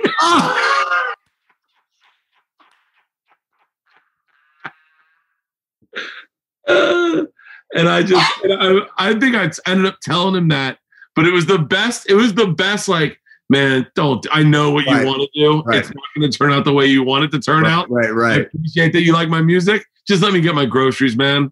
So for a long time. I know that look on that face. right oh and we can pick it up too like we see it and I mean, I'm, sure you see it now you know with Oh, like I can see. people- I can see when I. It's it's interesting. I can see when like we were. I was playing golf with my dad, and he was saying something about the group in front of us, and I go. I was like, I. I would. Say, they were playing slow, and he's like, "I'm to say something." I said, "Don't." And he said, "Why?" I said, "They're fans." And he goes, "What do you mean?" I said, "I'm just looking at them. I can tell they. I can tell they listen to the podcast. I'm certain they listen to Rogan. I'm almost certain they listen to Two Bears One Cave, or they've seen my special." right And he goes, buddy, you realize how arrogant that sounds? And I said, nah, you just get to a place where you know. yeah as. I said that, as I said that, the guy goes, the machine. And I was like, what's up, buddy? Yeah. And they were like, dude, I can't believe you're playing behind us. And I was like, yep. My dad goes, how the fuck can you see that? And I go, you just, it's like you do enough meet and greets, you do enough of your shows, and you kind of get a profile of what your fan's going to look like. And, and it's, and, and I, I know Rogan can do it. I've seen Rogan do it right where he's like, where he's like, come on, well, I, we can't stick around here. Yeah. I yeah, it's it's you, you start to read like especially uh body like body language like the second and I this is the move for the, this is the one I've really started to pick up on. I get this one and then it's a second and then the eyes go up a little bit and then they turn away and I'm like we're going to have to move in about 5 seconds. Yeah. we fucking just and it's and it's it's it's rad you know it's cool and i i try to be as accommodating as, as i can to people you know but when it's like like me and my wife have a hard time going to shows now like Oh yeah. Oh, I mean, yeah i mean it's just you never unless it's somebody i know and i know i can like sit in a place and watch the show it's you'll you'll never see the full show ever, like for the rest of your life. It's it's that it's that gnarly. This podcast is brought to you by Skylight. Look, if you are looking for a Christmas gift, look no further. Skylight is the gift to give your family, your friends, your parents. We are all far apart. We are going to stay far apart, especially in California. One of the greatest ways to stay connected is this these Skylight frames. I'm telling you, we got one for all our friends, the all we call the campers, all four of them. We got all of them, and then we post all our pictures from our trips on those, and they're all shared. So we all have these screens that are like a, it's a beautiful picture frame that sits in our kitchen, and they're all connected, and the same pictures show up. Or you can send it just to yourself. It is a frame that you can update anywhere instantly from email. It's a great way to get close to those you love when you're separated. Its setup is super easy 60 seconds. That's it. Everyone in the family then emails all them all their personal things to their personal Skylight email address, and they pop up in seconds. Multiple people can send photos of to the frame, and it's a great way for a large group of network friends to stay in touch. It has a black and white matte. Uh, it's super. It's, it looks like a, it's beautiful. It's, it doesn't look like it looks like it belongs in your home.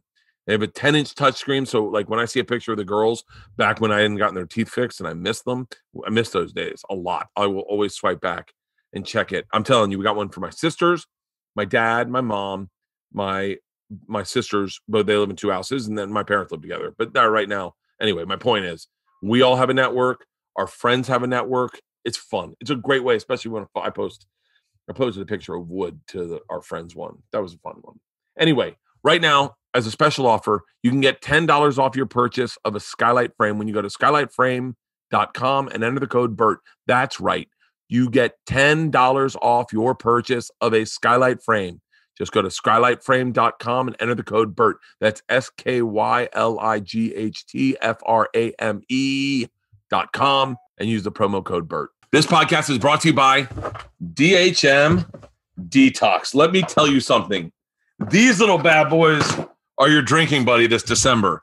They, I ran out and I had them send me more, and they are awesome. All you do is take one little, oh, this is their hydration system. Hold on one second. Oh, their hydration system's awesome too. Let me explain. Let me talk to you about DHM Detox first. I'm sorry, I just got this.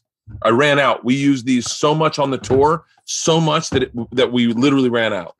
All you got to do, two of these right here with your first drink. Take two of these with your first drink and boom, you are in business, buddy. The next day, you feel fantastic. No more of those Sunday, sun, Sunday, Mondays. You know, you take two of these with your first drink, and if you're gonna party a little extra, throw another two into the mix. But for me, here's what I love. This Christmas season, we're doing a lot of Zoom uh, parties. When you do a Zoom party, you want to have a drink with everyone. You want to be cordial, but you don't want to go overdo it. Ah, that's what I would do. We open a bottle of wine. Leanne and I each have a couple glasses. She has one, I have two, maybe three and then you're done for the night, right? You're not going to tie one on. You're not going to get wasted. You just take, bam, two of these at the with your first drink, and you are set. On tour, we would take one when we started and we throw one in our pocket just in case we didn't know how the night was going. And what's great is the next morning they now have these hydration replenishers, which pairs perfectly with the DHM Detoxed. No days wasted is offered a risk-free purchase. So if you don't love it, they're going to refund you on your first box. We've got you taken care of. 20% off on your first order and free shipping in the US. Just, just head over to no days wasted.co slash Bert. Use the promo code BERT at checkout. That is no days wasted.co slash Bert. Trust me, I'm telling you right now.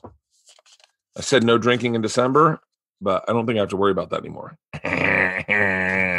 no days wasted.co slash Bert. Use Bert at checkout for 20% off your first order plus free shipping in the US. Just head over to no days wasted.go slash Bert. Use promo code Bert. Uh, my problem is, and, and Bert, Bill and I went to a, a, a XFL football game and he goes, he goes, stop matching their energy. He was like, they recognize you, and then you get more excited that they recognized you. and they got, he goes, because you're taking it to the next level. Like it doesn't need to go there. Right, right. And Bill's right. very like if Bill goes like someone goes, Bill's very literal. If someone goes, "Hey man, I don't want to be that guy," then Bill will go, "Then don't, then don't, then don't." He's so cool though, dude. I met him through uh, Dean Delray. Yeah, and, uh, I, we went down. We we saw them. It's probably one of the last shows that we actually got to see.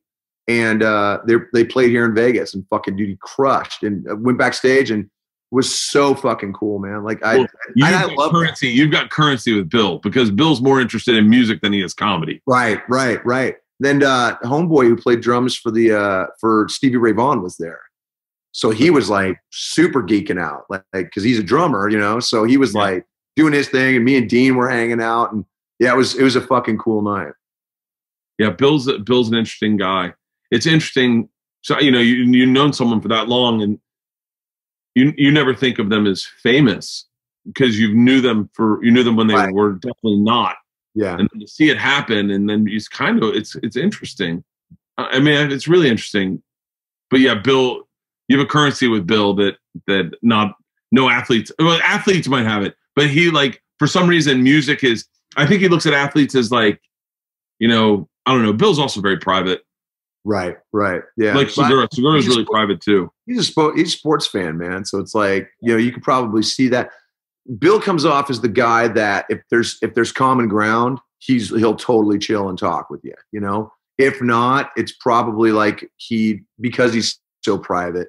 There's a there's a wall there. You know, which I, I have a lot of friends who are like that, man. Like uh, uh, I have friends in bands who are if it's me and them, very you know hospitable, very gracious, like talks, talks, talks but when they go out it can get punishing you know so they they keep the wall down the entire time you know because they have to because they've been doing it for years you know so it's again it's one of those things that you don't realize is so taxing because people are just it's just it, you just never know you know it's just always happening I'm so fast. I'm still so fascinated by the dynamic of nine members in a band touring and being successful and not breaking up. I'm still so fast. There could be a legit documentary by a so like a psychologist on why that works because so many bands don't work.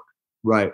I, I think it's because we all loved, we all love the music that we make together. Like we still get stoked when we like when we hit on a, a fucking new song and a good song. Like we still get fucking really stoked about it.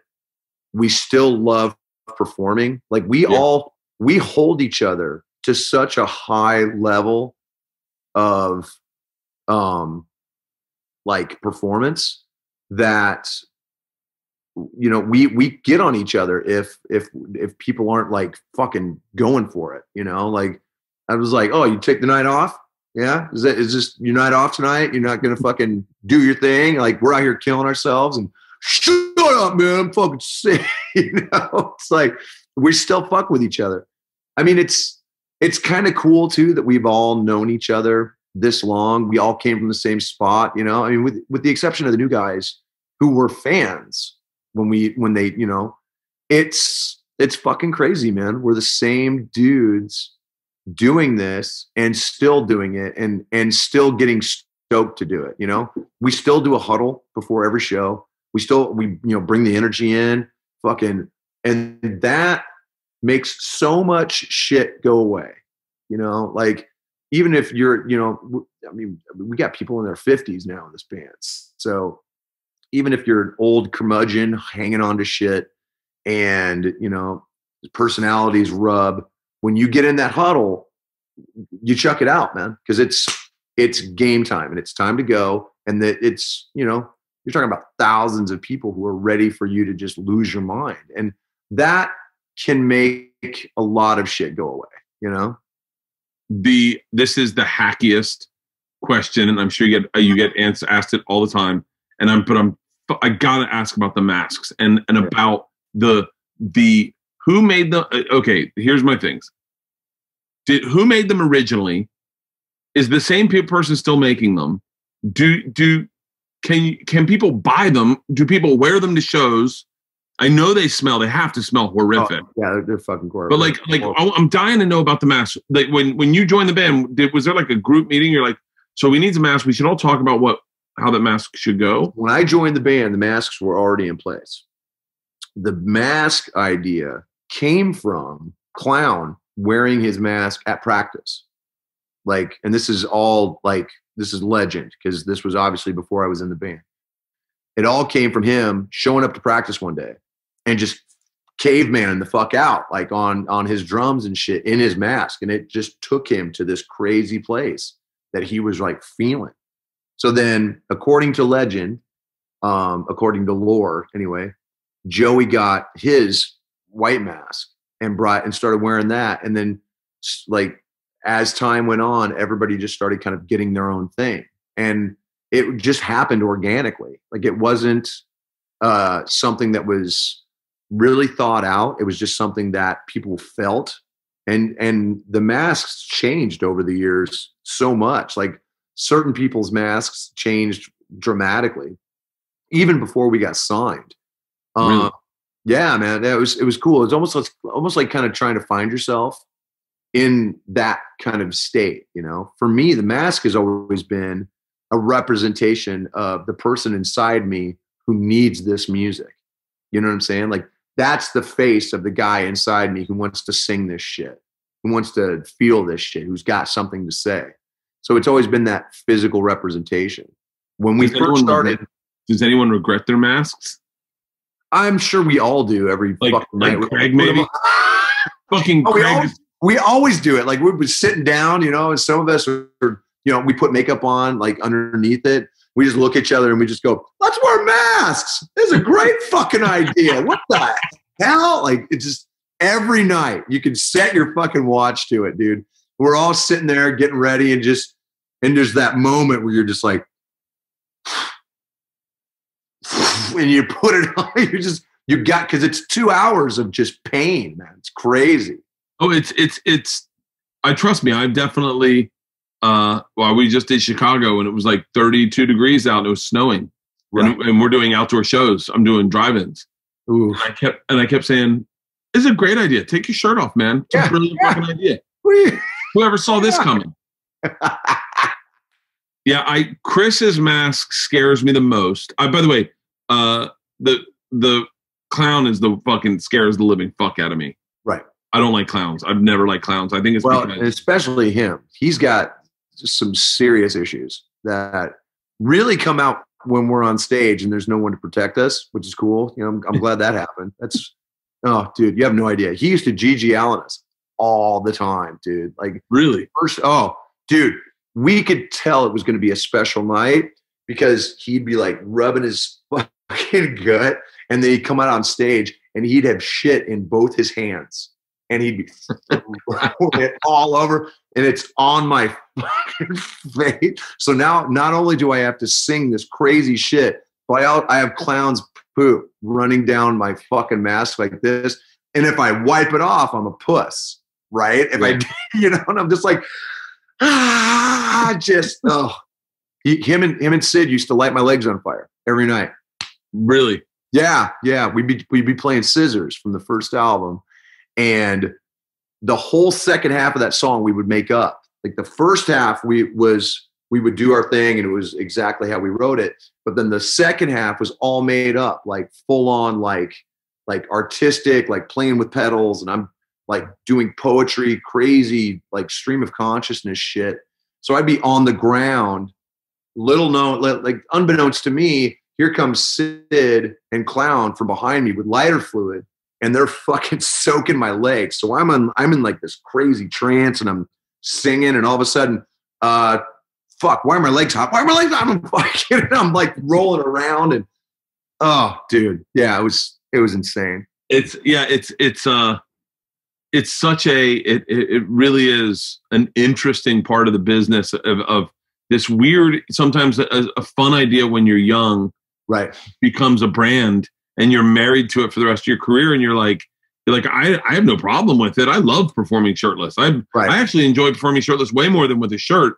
But there are times where I'm cold as fuck, or I'm doing a quick set and I don't want to take my shirt off and put it back on again. I'm like, Right. I'm up here for an hour, I'll Yeah. do it. But come on, man, I'm just doing seven minutes at the store. Like I'll just, I'm, fuck, it's a lot of movement. right. Do you have a room full of masks? No, I've got them. Uh, a lot of our masks are all kind of kept together. We have a warehouse like, where we keep a lot of our shit. Um, I have a couple of uh, couple of masks here that I keep for personal reasons. Um, but a lot of my stuff was on display at the Hard Rock for a long time here in Vegas. Um, Yeah. I had a I had a big uh, display in the Hard Rock uh, Casino, and uh, when that got taken down, they sent it back to management. So I got masks kind of all over the fucking place. But I have a few. Uh, my original mask melted, dude. Like I mean, disintegrated. Like I had it on a fucking mannequin head, and for some reason, between the humidity in Iowa and the crap that had been coming out of my face for years, it melted it. And I mean, melted it. It looked like somebody had sprayed the shit with acid and it was dripping off. I came in the room that I had had it set up and I just went, What the fuck, dude? The buckle was hanging on by this piece of rubber. And I just went, What the fuck just happened, dude? Like it freaked me out. Like it did, I had to throw it away. Like, so my original is gone, gone because it was just, it was disintegrated. There was no saving it. Come on in, Isla. Um, there's a guy at the door. There's a guy at the door. Yeah, About what? I don't know. There's a guy. The guy at the door. Do I know him? I don't know him, so you probably don't know. What, is mom here? Who's the guy? I don't know. I'm Jordan in the bathroom. Fucking shit. Can you give me one second? Yeah, man. Yeah. Do your I'm sorry. There's so, someone at my front door, and No, no, no, no. Yeah, I totally give me understand. one second. Give me one second. I'm so sorry. Give me one Oh, second. that's okay, man. Yeah, do your thing. All right, I'm back. I'm back. I'm back. Sorry about that. That's okay, man. My Hey, daughters, no, trust my me. daughters are I- useless. I, nay, I I got kids. I totally get it. Um. All right, I'm gonna bring Halston back on. Halston. Yo, Okay, Halston. This is uh Halston. Halston is a is a musician, but more importantly, a huge fucking fan. And Wow. and he's been listening this entire time with bated breath. Halston, what questions didn't I ask that you think I should have asked? Okay, you guys got into some really good vocal stuff, and like I just want to dive a little deeper into that because um, I was in a metal band at one point as a frontman myself, and we opened up for Soulfly. The only thing I wanted to know was what was Max's warm up. Like someone who screams for over two decades, is there a scream warm up? Because I know there's warm ups for regular singing, but when I was doing both, it's like it's so different. And it's like sometimes you don't want to warm that scream up because you don't want to like ruin it before the show. Like, I want to know about that. Do you have a scream warm up?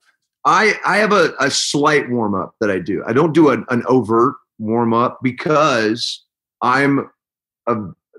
It's my assumption that if you over warm up, you lose a certain tone in your voice, and you will thin it out. And that's why I think a lot of people who they over warm up like for like an hour, they come on stage and they just their voice sounds thin. You know, so for me, all I do is basically the first thing I do is, is find out how my, my voice is feeling. If I'm sick, I have a whole different thing that I go to where I drink lemon juice and honey, warm that up, and then I have a certain warm up that goes with that.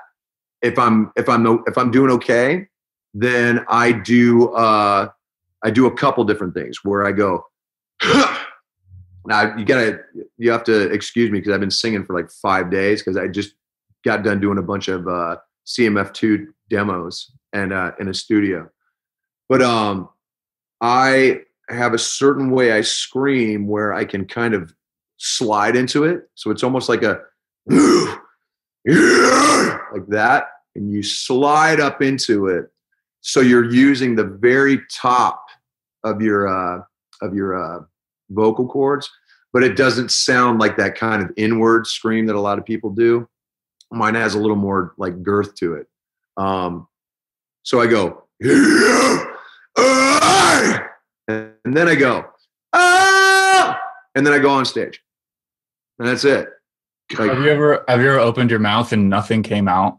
oh yeah, I've I've, I've had to uh, I've had to cancel four shows in my whole life, and it was because I couldn't make a sound. Um, the last time I had uh, canceled like that was I want to say it was 2006. Uh, it was in Berlin uh, with Stone Sour actually, and uh, we were on the Come, uh, Come Whatever May tour, and I had just they had just stacked me with a lot of shows, and if I wasn't doing shows, I was doing TV shows over there. So we were doing so I had real no days off. It was what they call non-show days, which is such horse shit, you know. And uh, so I I got to Berlin. It was you know it was one of the biggest shows on this on the on this on the tour, and I literally couldn't make a sound. Like, I mean, and I did, I like to this day, I can't believe I did this. I took a fucking finger of uh, Vaseline and stuck it down my throat to see if that would work. And it didn't. And I was just like, well, I'm all out of ideas. I don't know what the fuck I'm going to do. And for real, I was like, I, I, had to cancel. We had to cancel that night. And uh, luckily, I had two days off after that. Uh, so between those three days, I didn't talk at all. It was total vocal rest, um, and just basically sat in my hotel room and in total silence and talked to everybody on uh, on email. That's how I communicated. And then on the fourth day, I was able to you know kind of finish the tour off. But yeah, it was fucking crazy, man. Um, you, so you haven't had any vocal surgeries at all? No. Uh-uh. The closest I got I got bit on the top of my head uh, by a spider and it threw. Yeah, it was fucking crazy. We, we stayed at this like super sketchy fucking hotel in New Mexico, right? And I mean, there was so many, there was so much weird shit. We were trying to save money. It was like a whole fucking thing. There was so much weird shit going on in the fucking hotel room that I I feel I, I fairly started I got bit in the night. And I woke up didn't realize I'd been bit because I got bit in my sleep. And it was so gross in that room. I went and slept on the bus. I was like, I'm fucking gone. I'd rather sleep in my bunk than in this gnarly hotel room. And from that moment on, I was having vocal issues. And I went to a doctor, got scoped. My left vocal cord had swollen up about the size of my thumb. I mean, it was gnarly, gnarly. And I was trying different things and couldn't fucking figure out what the hell was going on. And then I went to a doctor in Denver because I had a rash on the top of my head. It was about this long, dude, and it felt like a fucking mountain range. Like it was insane. He goes, Oh, you got bit by a fucking spider. And I went, What? The fuck kind of spider? He's like, I don't know, but it was gnarly. He's like, You're very lucky to be okay right now. Give me antibiotics. And the swelling went down, and like and my whole leg was in like so my lymph nodes were like gnarly as soon as he gave me the antibiotics, it all went away. And so crazy. Go ahead. Okay, okay. Yeah, when I when I opened up from Max, like all he did was uh, he sprayed some entertainer secret in his throat. Right. Took a sip of Coca Cola. bought that for me when I lost my voice. Yeah, yeah, absolutely. Yeah, you you got to do vocal stuff, warm ups. You got to. That's a story for another day. well, I tell you what, there's a there's a uh, a speaking warm up that you can actually do. Um, and it actually starts with a sort of uh, om sound, like a almost like a chant, where you uh, you kind of mm, mm, mm, and you develop this sound that you then you're speaking and you're basically pushing the sound against the top of your mouth and you're using like about this much of your vocal cords. And it's a great way to not only take the stress off talking, but also to um, kind of warm up, like for like to basically go do what they call you know sorting out the phlegm is how they mm-hmm. used to say it, like yeah. back in the day. Yeah, it's crazy. That's my my my problem is like phlegm accumulated on the back of my on my vocal cords and getting it off of it. And and the other thing is, I, th- I don't think I breathe and talk right. I think I breathe and talk wrong. Yeah, yeah. Uh, it could be the the way that could come back to how you're talking as well. Um, there's a lot of people when they talk, they talk from the very back of their uh, vocal cords, and you can hear the tonal difference between this and this. Yeah. And that's because you change it, and you're you're you're. It, it's almost like you're pushing the sound against the top of your mouth. Dude, that's crazy. Uh, keep going, Halston. Anything else? Oh yeah, yeah, yeah, yeah. Okay, well, let's not make a meal out of it. I'm not going to be that crazy fan that you run into. No, so, no, no, because there are there are fans of mine that are listening to this going, Bert really dropped the fucking ball in this interview, man. fucking the fucking Corey motherfucking Taylor, bro. No, dude, you did fucking awesome. Um, Black Eyes Blue, does that mean you want her to heal you? Yeah, man. Yeah. Now that song is actually about my wife. Um ask that. Yeah, yeah. She's uh uh she's my third wife which uh, you know my first two. I, I mean, I'm not going to get into that, but my my second my my second relation, my second marriage was really gnarly. It was really hard on me. It fucked me up in a lot of ways.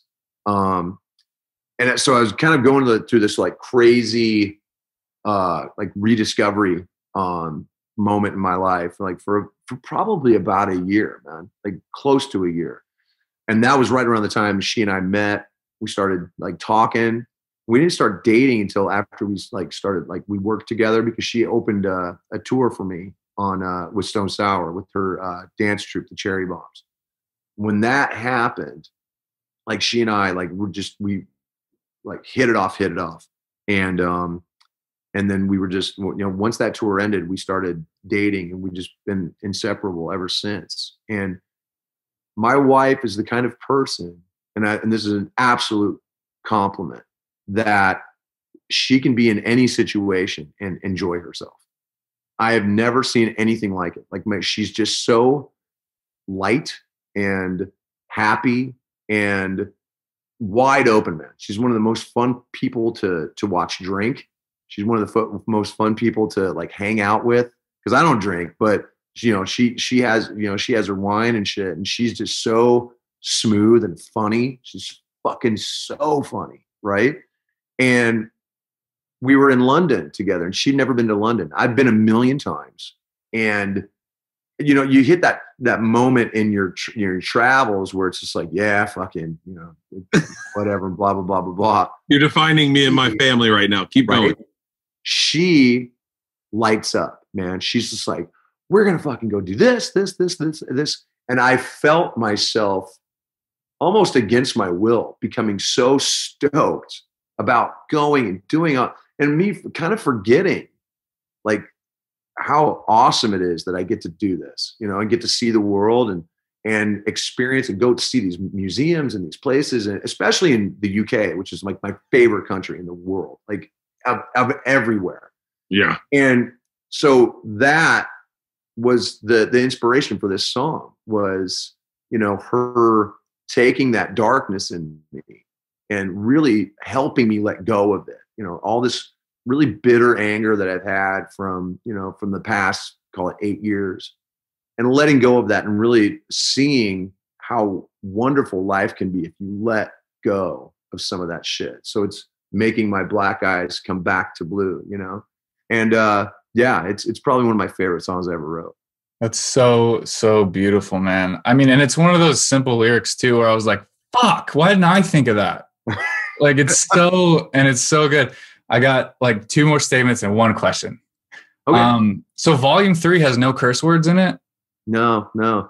Um, I say Jesus, but that's it. No, I I did. I, mean it was such a a big fuck you to everybody who said I couldn't write lyrics without cursing. I mean, that's the whole reason I did it. It's because everybody's like, "Oh, typical Corey Taylor fashion, you know, they're profanity laced, fucking blah blah." And I went, "Really? All right, motherfucker, check this out." And I the whole album there's not one. The, the, the, the closest I come is the the Christian curse, basically. You know, but yeah. you know, I don't give a fuck about that. Well, it was like a huge hit too. So like, what an awesome fuck you. Exactly. And dude, House of Gold and Bones Part One and Two is the best concept album since Operation Mindcrime. Oh, I oh, come on, dude. That's okay. Now that's huge because that fucking album is ridiculous. Like that's not so much the second one, but the first one is amazing. Well, Dude, I appreciate that, man. Fuck, thank you. I, I, I can't get enough. I I can listen to it every single day. Um. So last thing, I was trying to explain to my girlfriend metal and oh, Slipknot. Oh, hold on, here we go. Yeah. Yeah. she was trying to explain to me Gossip Girl. you're gonna lose me. And we just, just warning you now. You're gonna lose me because I don't we, know if I can yeah. we both we both just couldn't understand each other. Okay. Could you explain metal and what metal means to metalheads to a valley girl? Yeah. Metal to a metalhead. I mean, the only thing that can really put it in perspective is metal to a metalhead is as is as important as the best selfie on Instagram to a valley girl. Hmm. you know, like it's that it's that constant search for the angle.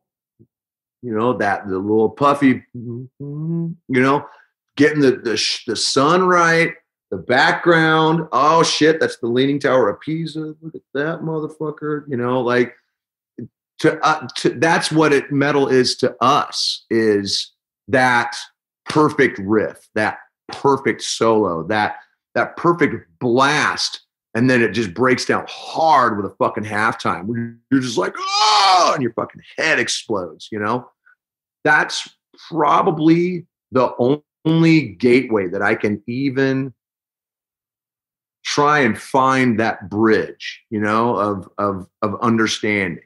You know, because I'm I'm assuming she takes a lot of selfies.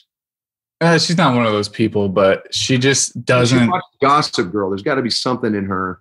Yeah, she's that's 24. Kind of like, I was just telling her that it's a it's a space where these angsty people can go, where nothing else gives that to them. And there's something right. called scream therapy too. Right. Oh, oh. we did it in the cabin. Yeah, you guys did it in the cabin.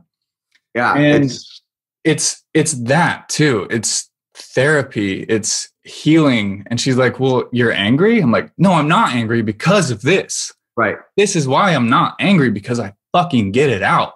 Right. I get it out of my body, and that's what that is. Yeah. And uh, yeah, I just wanted to know what your take on on that was. Like, how would you explain Slipknot to? I mean, yeah, dude. I mean, it's it's so hard to explain to someone what I call inert anger, which is, I, I used to call it the Irish. You know, my Irish is getting up just mm-hmm. because being Irish and German, you're just kind of born angry. You know, really nothing specific to be fucking pissed about. You're just double trouble where you're just, you know, um, there's things that happen to you in life that encourage that and and make it grow but because of that music it can even you out and it can allow you to function it can allow you to kind of get your shit together it can allow you to understand and have empathy for other people instead of being locked because people who don't have that and have those issues get so locked in self pity sometimes um, self self emulation. Like they just they can't get past that that fucking ball of shit that's right here, you know? And because of that, those are the people who really take a turn for the worse. And people who people who don't live in a, a, a state of kind of like just idling anger can't understand that just because we're hanging and chilling doesn't mean that there's something that I need to just fucking get out, you know? And they also, the flip side of that is that they can't understand why, if I am angry, why aren't I just angry all the time? It's like, well, it's not a switch. It's, it's triggered. But by listening to music and having the outlet, you can keep that shit at bay. Is it hard to go to that place sometimes when you're on the road? Because you kind of have to bring it back because people fucking won't believe you. I, I have it. I, it's very easy for me to tap into. To be honest, I remember every shitty thing that ever fucking happened to me. Like, and I mean, everyone. It's it's it's not. It's it's a blessing and a curse. To be honest, you know, it helps me be able to kind of empathize with other people's issues, but it also allows me to be able to put things in perspective and write about modern issues that I have. You know, like I'm obviously not going to write about being a teenager when I'm almost 50. That would be fucking shit, you know? But I understand the type of anger that comes from that, you know? And even though it, it's it's a more mature anger, it's still that kind of, you know, that that urge to just fucking ah, you know, lose your fucking shit. So that helps me keep my writing honest and also it helps me keep it um not current but relatable basically you know Um, and because of that, that means that there's a straight line between everything I write now and everything that I've ever written, you know? And that helps me, it, it makes it easier. Like if you're all over the place and you don't relate to these things that you write, then it's harder to kind of find that headspace, you know. But for me, it's a straight fucking line. I can get right back to where I was on this day, on that day, on this moment, what this song is about. And it that kind of recall is it's exhausting, but it's also it, it fills the tank enough that when you're on a on stage with with that kind of show, you just oh fucking come down on it, you know. That speaks to exactly what you guys were talking about earlier. Bert was you guys were talking about how so many people are gravitated towards you and like right. they yeah. are just stuck like glue to you and you weren't really sure why but it's it is that line. It's the line that's rooted in honesty. And that it, makes sense. Yeah. if you were not honest these people wouldn't believe you and they wouldn't be able to get their own shit out from your shit because that's, that's a good fucking point man. Like i and it makes sense because and it makes sense to the fact that why we're still here because it's you know my methods haven't changed my message hasn't changed you know? It's it's all about being yourself in this thing you know? It may not look like you but it is you and people can feel that and it's, really i was really it, you're i i you guys what when you were talking about that I, I kept going to myself. What's beautiful about music is there are so many different genres and people can just very easily go oh, i'm not into i'm not into metal. I'm more into hip hop or i'm not into hip hop. I like folk music. Right. What thinks about comedy is everyone there aren't there aren't a ton of genres. You've got like sketch and stand up and right. movies and people assume because they like to laugh that they can get all comedy and then they can just go oh your comedy sucks and you're like well no there should be genres man yeah exactly I mean, it's it's a good point, man. You know, I mean, that, and that's again one of the reasons why what you guys do is so hard. I mean, and when it's done right, which like you, Bill, Tom, it's fucking awesome. You know, and it's I as a fan, I hope you know we all appreciate it. Oh, okay. bro. Dude, Don't give real. me you have no idea how much I appreciate fucking Slipknot on a treadmill, dude. I'm sitting there murdering it, and I'm like, "Fuck, man! I wonder how skinny I would have been if I had been listening to Slipknot the entire fucking pandemic." As skinny as me, as skinny as Halston, dude. That's it, dude. Well, you know what? The, as a comedy fan and a Slipknot fan, you guys can't speak to this because you're in it. You're too close to it. I'm a fan for the exact same reasons. I can pop on a comedy special at night when I'm at my lowest, when I'm at my darkest, and I can laugh. I can, yeah. I can have a place to put my head right before I go to sleep so I don't wake up angry or depressed. I can pop on a Slipknot song and scream it out in my car and listen to Nero Forte and fucking drive fast, dude. That song makes me want to drive so fast. And it's the exact same thing. And for that, I thank you both. Wow. Hey, Thanks. It's a great way to end an episode, Halston. Pretty rad. Dude, I got to tell you, man, Corey, thank you so much for doing this. This has been a blast. I, I really, my pleasure, man. I, I, I can't tell you how cool it is for you to hop on for as long too. It's been an hour and forty five minutes. So uh, look, hey, man, I just been putting off cleaning my house, so it's fine. It's all and and I can't wait till things loosen back up and I'm back in Vegas and we get to hang. Dude, yeah, man. Fucking hit me up anytime. We'll come down. We will hang. Fucking hard hangs. Absolutely. I'm a lot cooler with than Bill in my green room. Well, there you go. Thank you so much, brother. I appreciate it, man. Thank you, man. Thanks for having me. Anytime. Hey, stay safe. Take it easy, guys. See ya. Later.